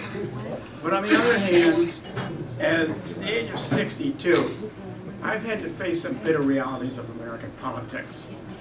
When I was a boy, people, people of real stature and ability in both parties sought public office. Democrat in those days, that meant like John or Robert Kennedy or Adlai Stevenson. Republican in those days, yeah, that might mean somebody like Richard Nixon, who at that is better than Donald Trump. And I never thought I'd say something like that. but Republican also meant somebody like Dwight Eisenhower, somebody like Nelson or Winthrop Rockefeller, somebody even like Barry Goldwater or Robert Taft, people with whose principles I disagreed with, but who were people of stature and ability. And you knew that if one of them took over the presidency of this country, uh, even in the hands of Senator Goldwater or Senator Taft, the republic would still be safe. I do not have that same confidence that Donald Trump will run this, that democracy will be in his hands will be safe. It will not. And then you have all these ridiculous rumors that are going around about how Hillary is ill and whatnot. Well, I place about as much stock in that in the idea that the reason why Donald Trump is so soft-headed is because he's suffering from syphilis or some other venereal disease. This time, instead of quoting my favorite commercial remark, Charlie, we're gonna dump, drop Charlie's name from it, and put Donald's name in there. Sorry, Donald, only good tasting tuna get to be star-kissed. Oh. And finally, I am not voting for Republicans for anything for this year, not even for clerk of the circuit court. In that race, I am ca- I'm not going to even bother to cast a vote since I don't like Dorothy Brown, who's a crook. Instead, my message is simple. Vote out all Republicans all the time. You're halfway there, you're halfway there, halfway there. You're halfway an asshole. So you say. I only said halfway. All right, guys. I'm pleased that you You know, this has been one heck of a crazy election season.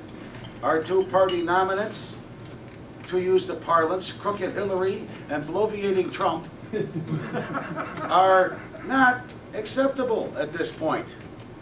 Well, you know, I kind of was doing some research the other day, and I heard something that was quite remarkable from somebody called Gary Johnson. Oh, yeah.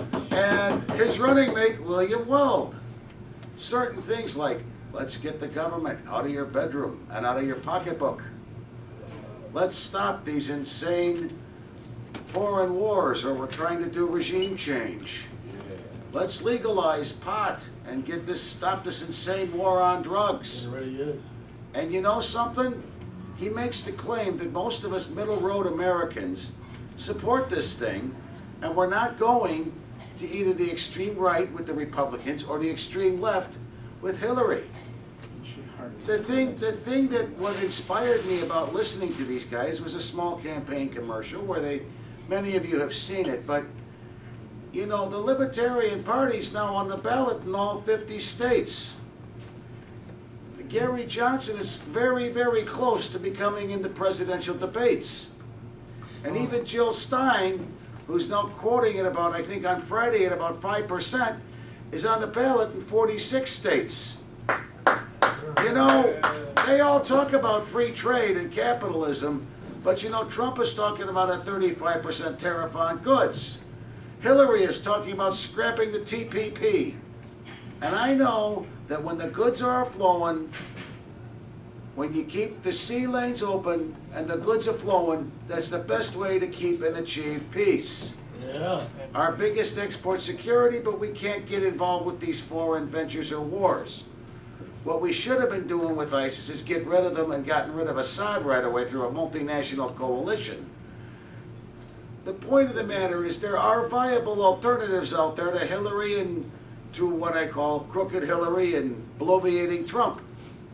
Try looking at the Libertarian Party. Try looking at the Greens. And to quote somebody at the demo, at the Republican convention, go take a look at the ballot, exercise your vote, and vote your conscience. There are other candidates out there. Besides, I like Gary Johnson. You know something? Did you know he climbed nine mountains? He was recovering, recovering from a broken leg when he climbed Everest. And he's made the, and he's made the pledge, Yes. and he's made the pledge that he won't smoke pot while he's on president it's a twenty-four hour commitment. He didn't inhale. Well, he, he was a CEO of a pot company. Yes, Charlie. I, I, I walked the Appalachian Trail. Does that make, make me qualify as a governor? Yes. No, it just makes you qualify that you're healthy and You know, alive and that you'll be able to I perform the job well. Yes. Come on, this is nuts. Yes. It's not nuts, I like the How about libertarian the ticket. Canada? Go, go Gary. Because he climbed a mountain. I have climbed the highest mountain, actually done so, and know what it's like to be in a struggle. What does that have to do with running a government? I think just having a little stamina, Charlie. It may not be, but it does play well to the I ran voters. marathon. I'm done. Let's get our extra butter up here, come on. All right, keep going. All right. All right, Timmy. All right, you ready?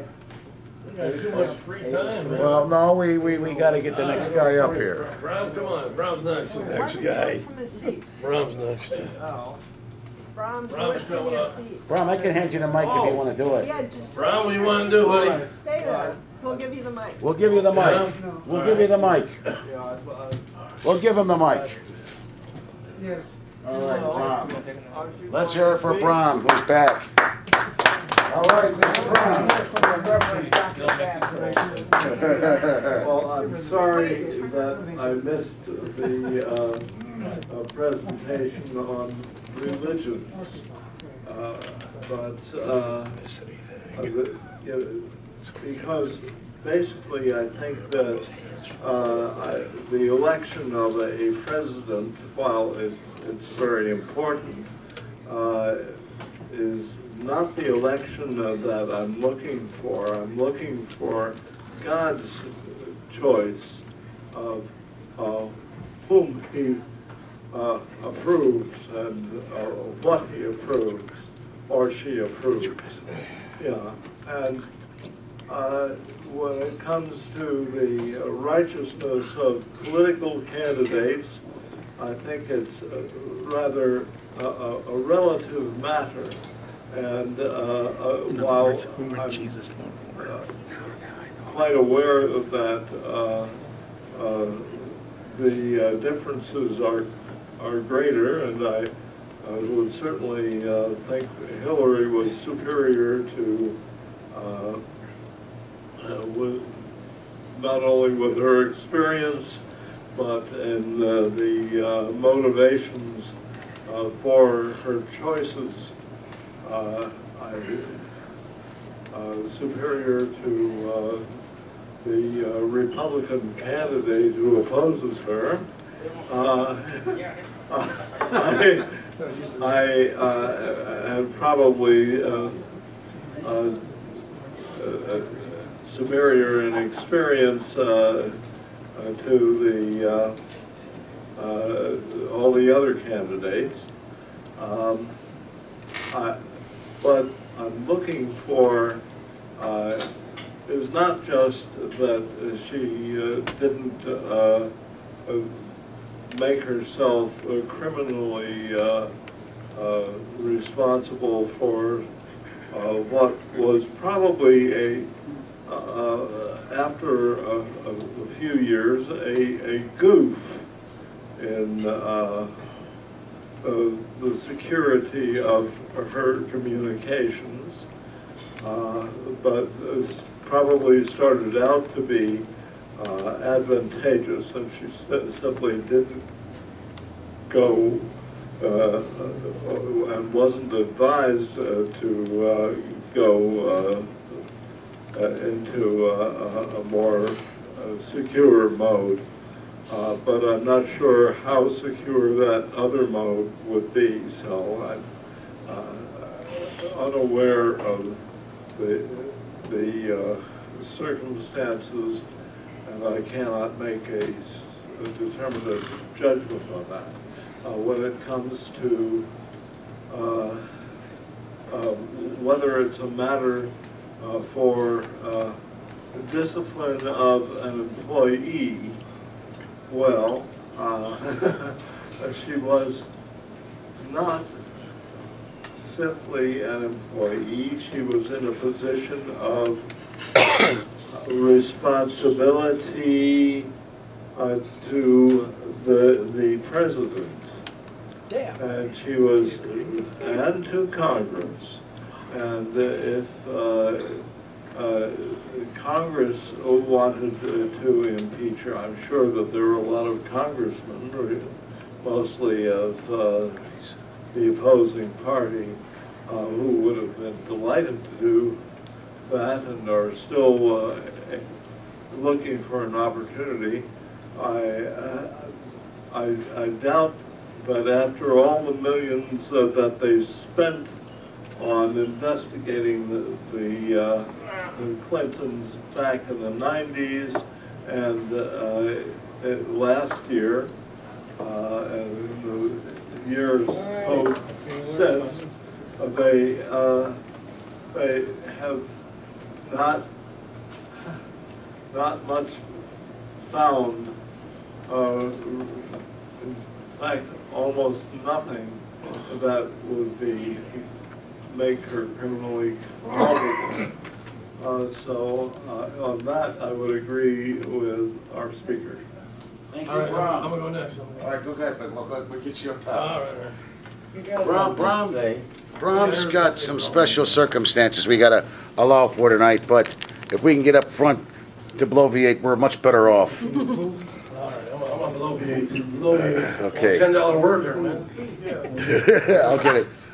I'll get it for you, don't worry. Easy enough. Town hall worth seven dollars. Oh. Look at this. It's talent, sir. That is true talent. You can thank Andy for this. Andy. Andy Anderson. Thank you, Andy. You see, he's All giving right, credit. next, All right. or after you, you- Oh, for the Velcro? yeah. Yeah, yeah, good job. Good. All right. Okay. So- so We're gonna get you, we're gonna clear you, and you All got, right. you got Ready, started. get set, go. All right, I just want to thank everybody for coming. Charlie, great presentation. Yeah. Very detailed, very detailed. Good. Good.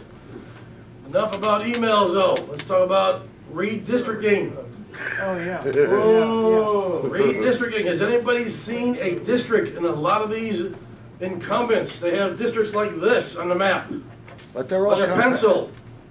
And then you have other districts that go this way and this way. But there are compact and contiguous, aren't they? This is rigging, my friends. This is not fair. And who does it? The, the incumbents themselves do it. This is where all my voters are, this is where I'm gonna have my district. Is that fair?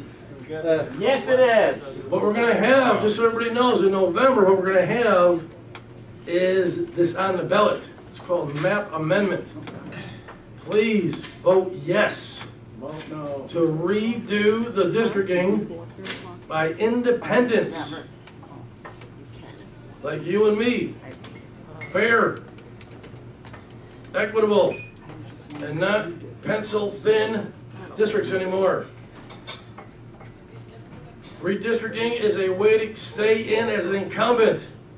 I don't know if you guys know or not, but there's seventy percent of the state senators have no competition. When you go to the polls, you will see your state senator have their name there and no competition. This is because of redistricting. Now, those of you that think it's fair, vote no in November, please. For the rest of you that think it's unfair, vote yes to independent redistricting. Think about that. And in the House, it's, I think it's sixty percent. It's fifty-four. It's Fifty-four or sixty percent, I forget, I'm sorry. But those are unchallenged as well. So your state rep will be on your ballot with no name as competition. Formula I don't know about you, but I never give my vote to a, a, a, a person on the ballot that has no competition. What's the purpose? All right, so that, that- that's redistricting. Map amendment's gonna be there. It's, it's, uh, it's gonna be in there in November. Also, we have some, uh, term limits. They wanna set term limits. And that will be at your choosing. You can say yes, or you can say no. If you like the gridlock that we have in the state of Illinois, you want to say no to term limits and keep them in there. Keep them in there and keep the gridlock. Let's keep having problems over and over and That's a- over and over. That's a false choice. There you go. Just just like That's a Charlie. Charlie's gonna vote no. Charlie's gonna vote no. We already know that. That's a Good false for you. choice. Good for you. I'm glad you like the sloppiness and the gridlock and the all, all the corruption and the It's and the, all Bruce Rauner's and fault. the ineptness and the inept- ineptness of the whole They haven't thing. been there long enough, yeah. You, you get Been there too long. it's called, it's called it's called Madigan and Cullerton and 118 chickens. 118 chickens. And you got 58 chickens in the Senate for Cullerton. I don't understand. You got a budget that was seven billion dollars short, and it got passed from the House to the Senate. And Cullerton, he did the right thing. he vetoed it. Because constitutionally, you must pass forward or pass through a balanced budget. Things you get tweaked on the left, on, on, on, on- things you get tweaked on the revenue, they can get tweaked on the expenditures, but it's always a must balance as it flows through all the way to the governor for the final. But it, it, it's a shame, a lot of people are suffering in the state of Illinois. Oh, done. All right, thanks, y'all. Vote yes to term limits and vote yes to redistricting. Get rid of that pencil. Thanks. Okay, Andy. Andy. Why should I get rid of a good guy? Good evening. Uh, I'd like to thank Charlie for an energetic presentation. Um, I think he may have overlooked uh, one key point. There, have you seen this book called The Clintons' War on Women, Charlie? That was one of my slides. That was one of your slides. Did you, did you show the picture of Bill Clinton's, uh, sitting next to Bill Cosby, uh, having a good time at some dinner? I said, what do those two people have in common? Rapists. Well, they're rapists. Uh, Bill Clinton has been assaulting women from the time he was in college. And Hillary Clinton has been psychologically raping those women after Bill got through with them, to threaten them with all kinds of things to make them go away. Hillary has been involved in the cover-up of Bill's crimes for the last 35 years. That's one thing. Another thing, uh, Charlie uh, forgot to mention, or I I didn't hear it, was that a, uh, a common defense of, like when a police officer is uh, found guilty or uh, commits a crime or something, uh, the department will destroy all evidence of the crime. Then when somebody comes to say, uh, can I see the Excuse me, files? Andy, Uh, They say, we have no evidence of a crime here. Andy, can I ask you because to stop for a second, please? Oh. I just want to remind everybody that again, we are trying to pay attention to our speakers. A lot of side conversations going on, so please continue. Dear, uh, Hill, the reason, one of the reasons that Charlie is able to claim that there was, uh, they couldn't find a lot of evidence on uh, wrongdoing on Hillary's email server was because she had 300,000 emails wiped clean of her private server as soon as she found out that the government wanted something. So this book claims that Richard Nixon would be jealous of Hillary because he didn't burn the tapes. And he got burned for it. Uh, they were taping stuff. Richard Nixon famously had tapes that came out. Well, Hillary learned from her days in the Nixon White House trying to, uh, you know, protect Nixon. So there's a massive amount of evidence that Hillary and Trump are both totally unfit to be anywhere near the White House. Uh, I, this article showed up on Common Dreams today. It's an article saying what we're being asked to do. He said we should adopt a new slogan. Vote for the lying neoliberal warmonger. It's important. Hillary might be the lesser of evils. She might be a warmonger. She might have lied to us a bunch of times. But we have to vote for her because uh, Trump is worse. Well, to paraphrase, if I can paraphrase Martin Luther King when he said, I have a dream. Well, I have a dream about this coming election. I think an excellent turnout would be that Hillary would beat Trump. She would get twice as many votes as Trump. Hillary would get about five, four, maybe six percent. Trump would get three percent, and Jill Stein would get about ninety percent. oh yeah? And let the powers that be in this country force feed us Hillary Clinton after a resounding rejection at the polls.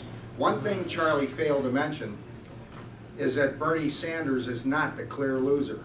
Bernie Sanders is the clear winner of the number of votes. They just changed the vote totals and trashed the votes in many states to make it look like Hillary was the winner. Hillary was announced the winner before they even started counting the votes. And when it turned out that Bernie was going to get more votes in California than Hillary, they just pushed two, three million votes, didn't count them. They disenfranchised a massive number of people in Brooklyn to make it look like Hillary was the winner when Bernie was getting massive turnout all over the country. So the, we, we need a change in this country, and voting for the lesser of two evils, I don't think is the right thing to do. We have a real clear opportunity this year. One final thing, who was it that mentioned, um, Jill Stein is reportedly going to be on the ballot in fifty states. It, it's fil- It's forty-six. forty-six right now. and they're headed- Libertarians they're are, headed toward libertarians 50. are on ballot in all fifty states. I think the Greens are on the ballot in forty-six. So, uh, to say that these people are unelectable is not right. If they're electable if we vote for them, okay? Thank you. All right. Andy? Andy, who's next? One second.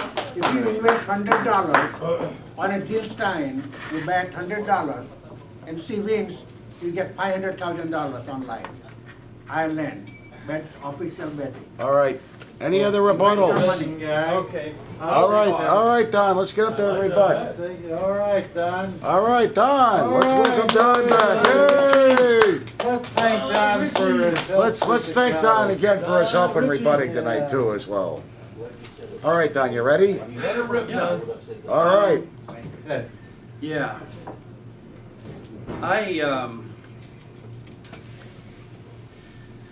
you know, I've been, I've been moderating on and off since probably for about 15 years now. Subs, you know, ever since, going all the way back to when Jeff was, was the moderator.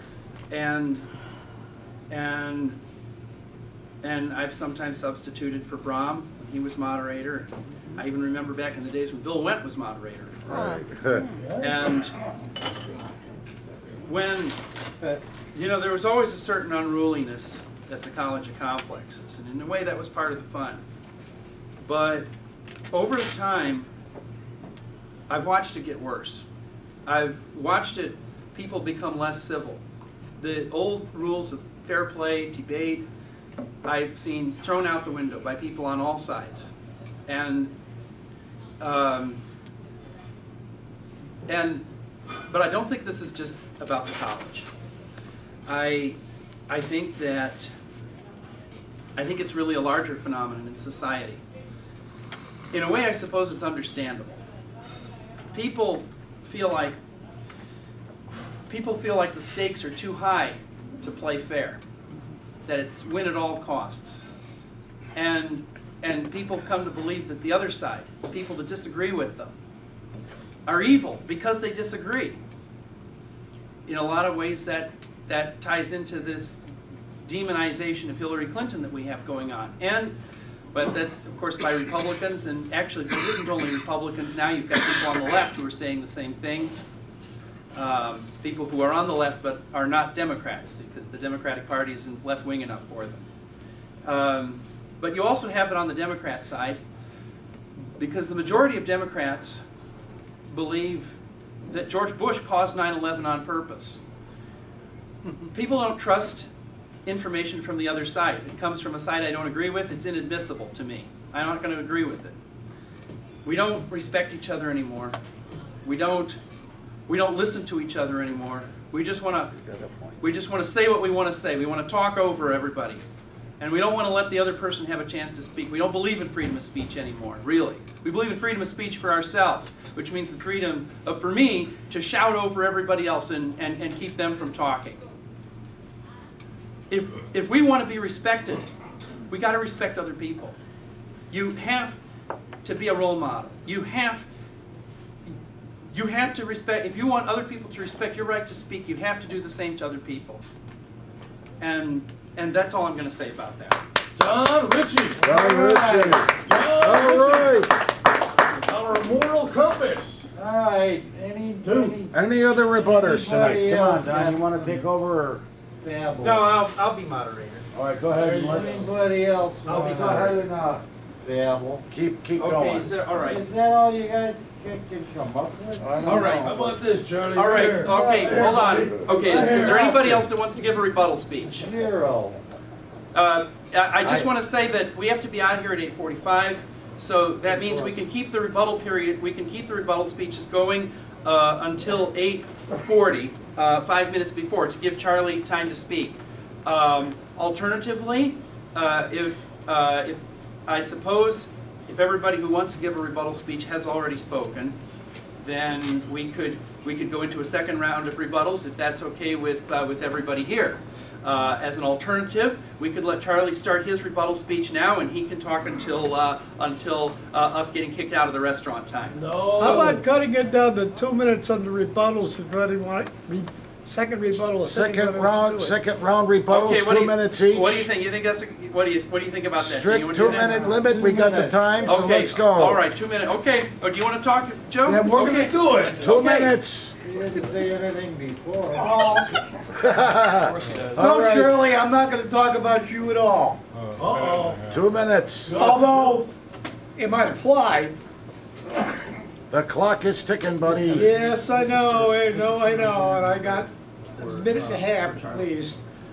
Um, For the first time in my life, in this election, in the primary, I took a Democratic ballot. Because I always voted Republican. Mostly because I was a Republican election, Republican election judge, and you didn't have any choice unless you didn't want to get paid. But I voted for Bernie Sanders. And then I watched, with their emails getting leaked, to find out that the Democratic Party with their superdelegates, which Charlie admires, had already prearranged who the hell the nominee was gonna be. And then Bernie, before the convention even, before he even put a platform amendment in, caved in and voted for Hillary and said, all you people should swallow the Kool-Aid and vote for Hillary. Well, I gonna do that. For the Bernie people out here, if there's any in the audience, and this is a small audience, I've gotta admit, if you were smart, you'd vote for the Greens in mass. Therefore, in four years, you might actually have a political party that could get on the ballot in all 50 states, and you would be in control. And you could set the agenda. And then you'd have a three-way election. Libertarians are already doing it. That would make sense. But I don't think anybody's got the guts to do it. Joe, where All right, all right, You got one all right, all Any guy. right. Two minutes. I, th- I think our election system is not working in a sense that we, we are not able to generate a strong leaders in a Senate and Congress who can have a, some weight so they can go and say, hey, there's something going wrong. Let's sit down and talk. And we do not have a strong leader, so we do not have a rapport with the president, anything. Barack Obama, if he would have been friendly, he would have made lots of difference. If you're going to be president, you have to be friendly with other leaders. And he did not do that. And that bothers me a lot because he achieved less just because he could not do it. He came, he came to the office with a base of basis from American people. No president I know of in recent history who had been so much respected when he was elected. And he just did not understand the issues, or he did not understand the people, or he had some problem with the white people, or whatever it was. But something he did not do and is regrettable. Second problem is that, that uh, in our election process, parties should have only registered people voting for the party. Because other people come and they bring the issues with party people who work and who are responsible for the party, their, their voices are not heard. And either, I think, uh, if we are going to build a strong, strong party and strong leaders, we need a people who are empowered and who have something to say about it, and not the outsider who come just before the election and say, "Hey, we want to be pre- we want to be president." Thank you. Okay. All right, all right. Next, next. All I forgot to mention, uh, uh, on September 17th, I'm going to be giving a talk specifically about what the media is covering up and blacking out about what's going on in campaign America this year. Uh, It's taken me a long time to figure out, learn that Ralph Nader was right. For 40 years, Ralph Nader has been saying, we have one political party with two faces, the corporate party. And we, they, they feed us a Democrat, they feed us a Republican, but it's the same billionaires buying and selling our politicians. And with the Citizens United Yep, ruling, um, Congress is now, we can brag about it. The Senate and the Congress is the finest running, uh, the smoothest operating, well-paid intellectual whorehouse in the world. It's a whorehouse. Yep, And okay. that's why those people have uh, no idea what it means for mainstream Americans to try to make a living or anything else. They're, they're being showered with money, millions and millions of dollars from billionaires. Uh, And what's happening in America today, you talk about uh, what Hillary has been ignoring. Hillary and every other high-ranking state official, I think they take an oath of office, uh, don't they, uh, to defend the Constitution? I know military people. But at any rate, uh, they take an oath to uphold the laws of the land. And all of them have been involved in obstruction of justice and the intentional cover-up of the crimes of 9/11. Uh, The forensic evidence now on 9/11 has been published worldwide in tens of thousands of places. There is no debate on what happened on 9/11. So on September 10th, mark this date on your calendar, on September 10th, a man's coming here from Rockford.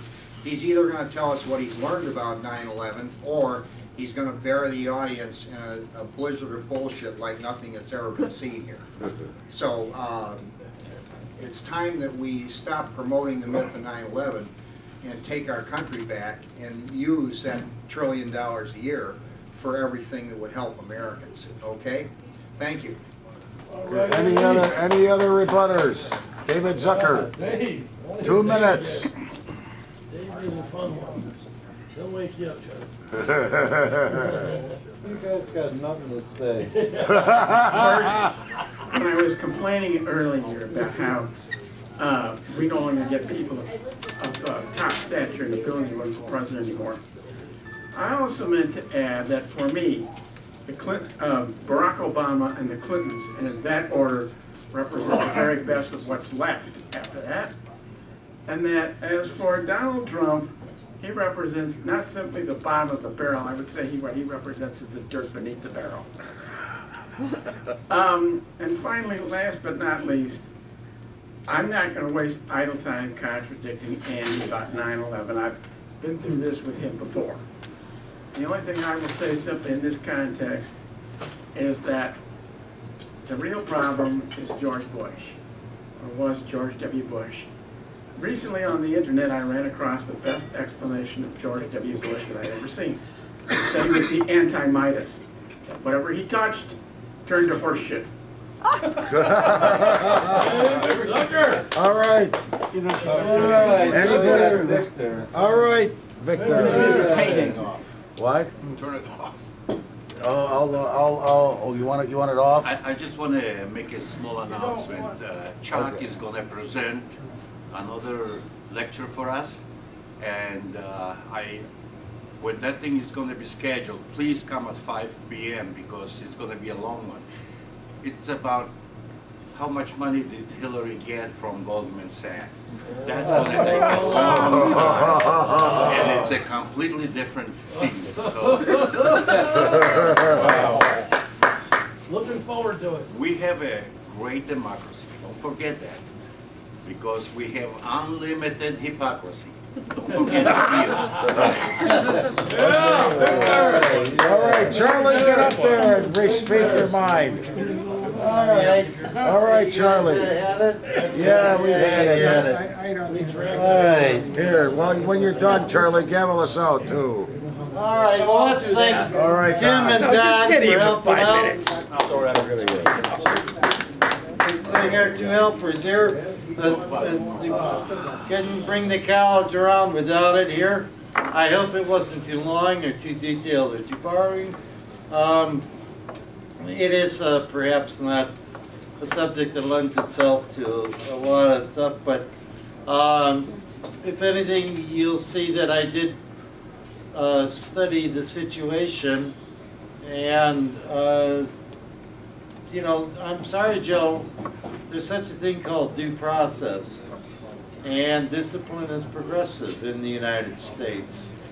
And um, you can rush the judgment, but you cannot punish someone for for engaging in an activity which was authorized by the person in charge of authorizing it and undertook it without incident.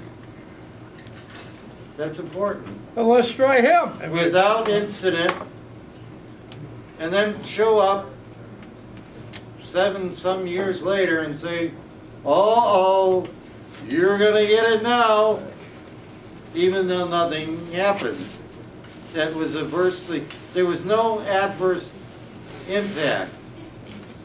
What, what, what was the adversity to the United States? And you say there was none. Well, you lost at that point. There's I no- didn't say there You was. didn't prove it, no one has come up with any, I'm sorry, did you want to respond? No, you said, I said, there was no impact. I said, we don't know that yet. You, the burden is on There's you, you've got to have it before you, you show up. You, you, you can't, when are you gonna, when are you gonna discover it? Ten years from now? I watched federal employees It's, spend 23 months in arbitration with their union until their supervisor got changed. And their supervisor, new supervisor came in and had to rate them immediately, who didn't know them, so that then they can say they got a clean evaluation and therefore drop the charge. the Don't give me that one either The judge is gonna say, let's hear what you got. If you don't have it when the hearing and the action starts, they don't say, well, we're gonna wait and we'll come around ten years later, when you might have, s- this is not the way it works. Not in this planet. It do just you doesn't. not in this You, planet? you just don't say, well, well, they, it's, it's ridiculous even to pursue this. Um, Only in federal sorry, civil where's that service, team, yes. where's that team, team term limits guy? Where'd he go? There's absolutely no reason to remove right a public official, uh, by virtue of some arbitrary and capricious time period. Now, if you could establish that after the first term, or the second term, or the third term, something takes place that is negative. Or it doesn't take place. Wait a minute. Like the budget. Wait a minute, no. A can, a guy's in office, or gal's in office. And you cannot say that after the first term, second term, third term, fourth term, fifth term, something happened. Now, it, it's like saying, well, if I bring home a piece of fruit, I know that it'll spoil within a certain period of time. But you cannot establish that. Without that, I don't perceive any reason for taking any action. Unless you can tell me, as a matter of fact, there's a valid argument that those legislators, in fact, get better. And you're throwing out people who are qual, who are the ones, you're, you're, you're precluding them from acting. That's just as valid a, pre- a premise Mold as yours. As a matter of fact, there's more thing that, there's more substance to it, that an experienced person is likely to produce better product than an inexperienced The one. state of Illinois is Are you- the what you're saying, an inexperienced person is going to do better Yes. than an experienced one. Yes. On what world do you Every, occupy? every person that can do a household budget is, is capable of doing what they do in Steve, it's an state of Illinois legislature. incontrovertible truth that the experienced That's person is going to be superior to someone who's never What done do they it do that's so intelligent? What are they? Look we- we- around. We got a broken a- system. Oh, I don't know. I The system get- is I broke. What are they doing so you know, well? these people, you know, That's not gonna happen. But until such time as you can tell me that there is a, a, a, a- point in time that someone loses their skills or becomes ineffective as a legislator, I'm not gonna buy what you're saying. It's just, what? It, it, a matter of fact, I think the argument is that they become more qualified. They're really good. The Illinois legislature is really good now, aren't they? I would, I would venture to say that anybody who's been in the legislature ten years is significant, is significantly better or more effective than someone who's been there one hour. We have a broken system, sir. How do you- If you're happy, how do you- keep voting back in. Keep You voting know, back in. That just doesn't happen. It's a complex activity. Uh, even, even the complexities, I carry around a, a handbook of the US Congress. It's about like this, and I wouldn't pretend to know all the procedures and, and whatnot in there. And to say that anybody could walk in and, and be effective immediately, um, eh, that's not realistic.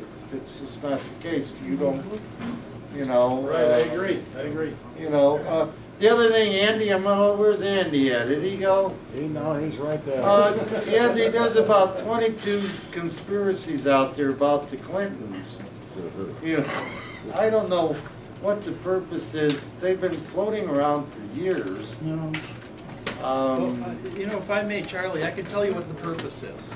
Uh, the the original purpose of the conspiracy theories was to try to keep Bill, back in the early nineties, was to keep Bill Clinton from getting elected. When that didn't work, then the new purpose became to deny him reelection. When that didn't work, the new purpose became to provide some justification for his impeachment. And, and then when, when that didn't work, the new purpose became to keep Hillary Clinton from getting elected to the Senate. And when that didn't work, the new purpose became to stop her from getting elected president, and that's what the purpose is now. yeah, I mean, I, he's apparently, these are very skillful people at evading prosecution. I, I don't know how that's possible. A lot of a lawyer. You know, uh, they're really, he certainly is a slick guy, slick Willie, but, um, anyhow, that's it. I hope you learned something. Uh, please, uh, if anything, look for serious, real issues regarding this campaign. Uh, don't get sidetracked by this nonsense, obviously, uh, and promises. I'll tell you, the one thing that really struck me, um, you know, about this campaign, and everyone's got their own views on this. But they asked the one candidate what he was a serious issue, and there's a number of senior citizens in here. If they asked him if someone came in a town hall and they said, "What are you going to do about the solvency of the of Social Security?" and his his response was, "Oh, we'll take care of that." Now, if you think that's an adequate response to a serious issue like someone's, that's how they live, you know. Uh, that person is not getting my vote.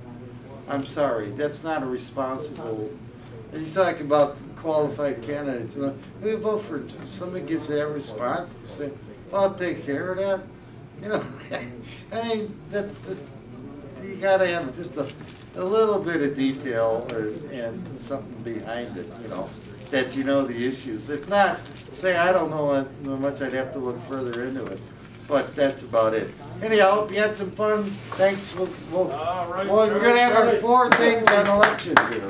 Okay. Okay, No folks, term that's, uh, limits. That's all. Meeting's adjourned. Term limit. All right.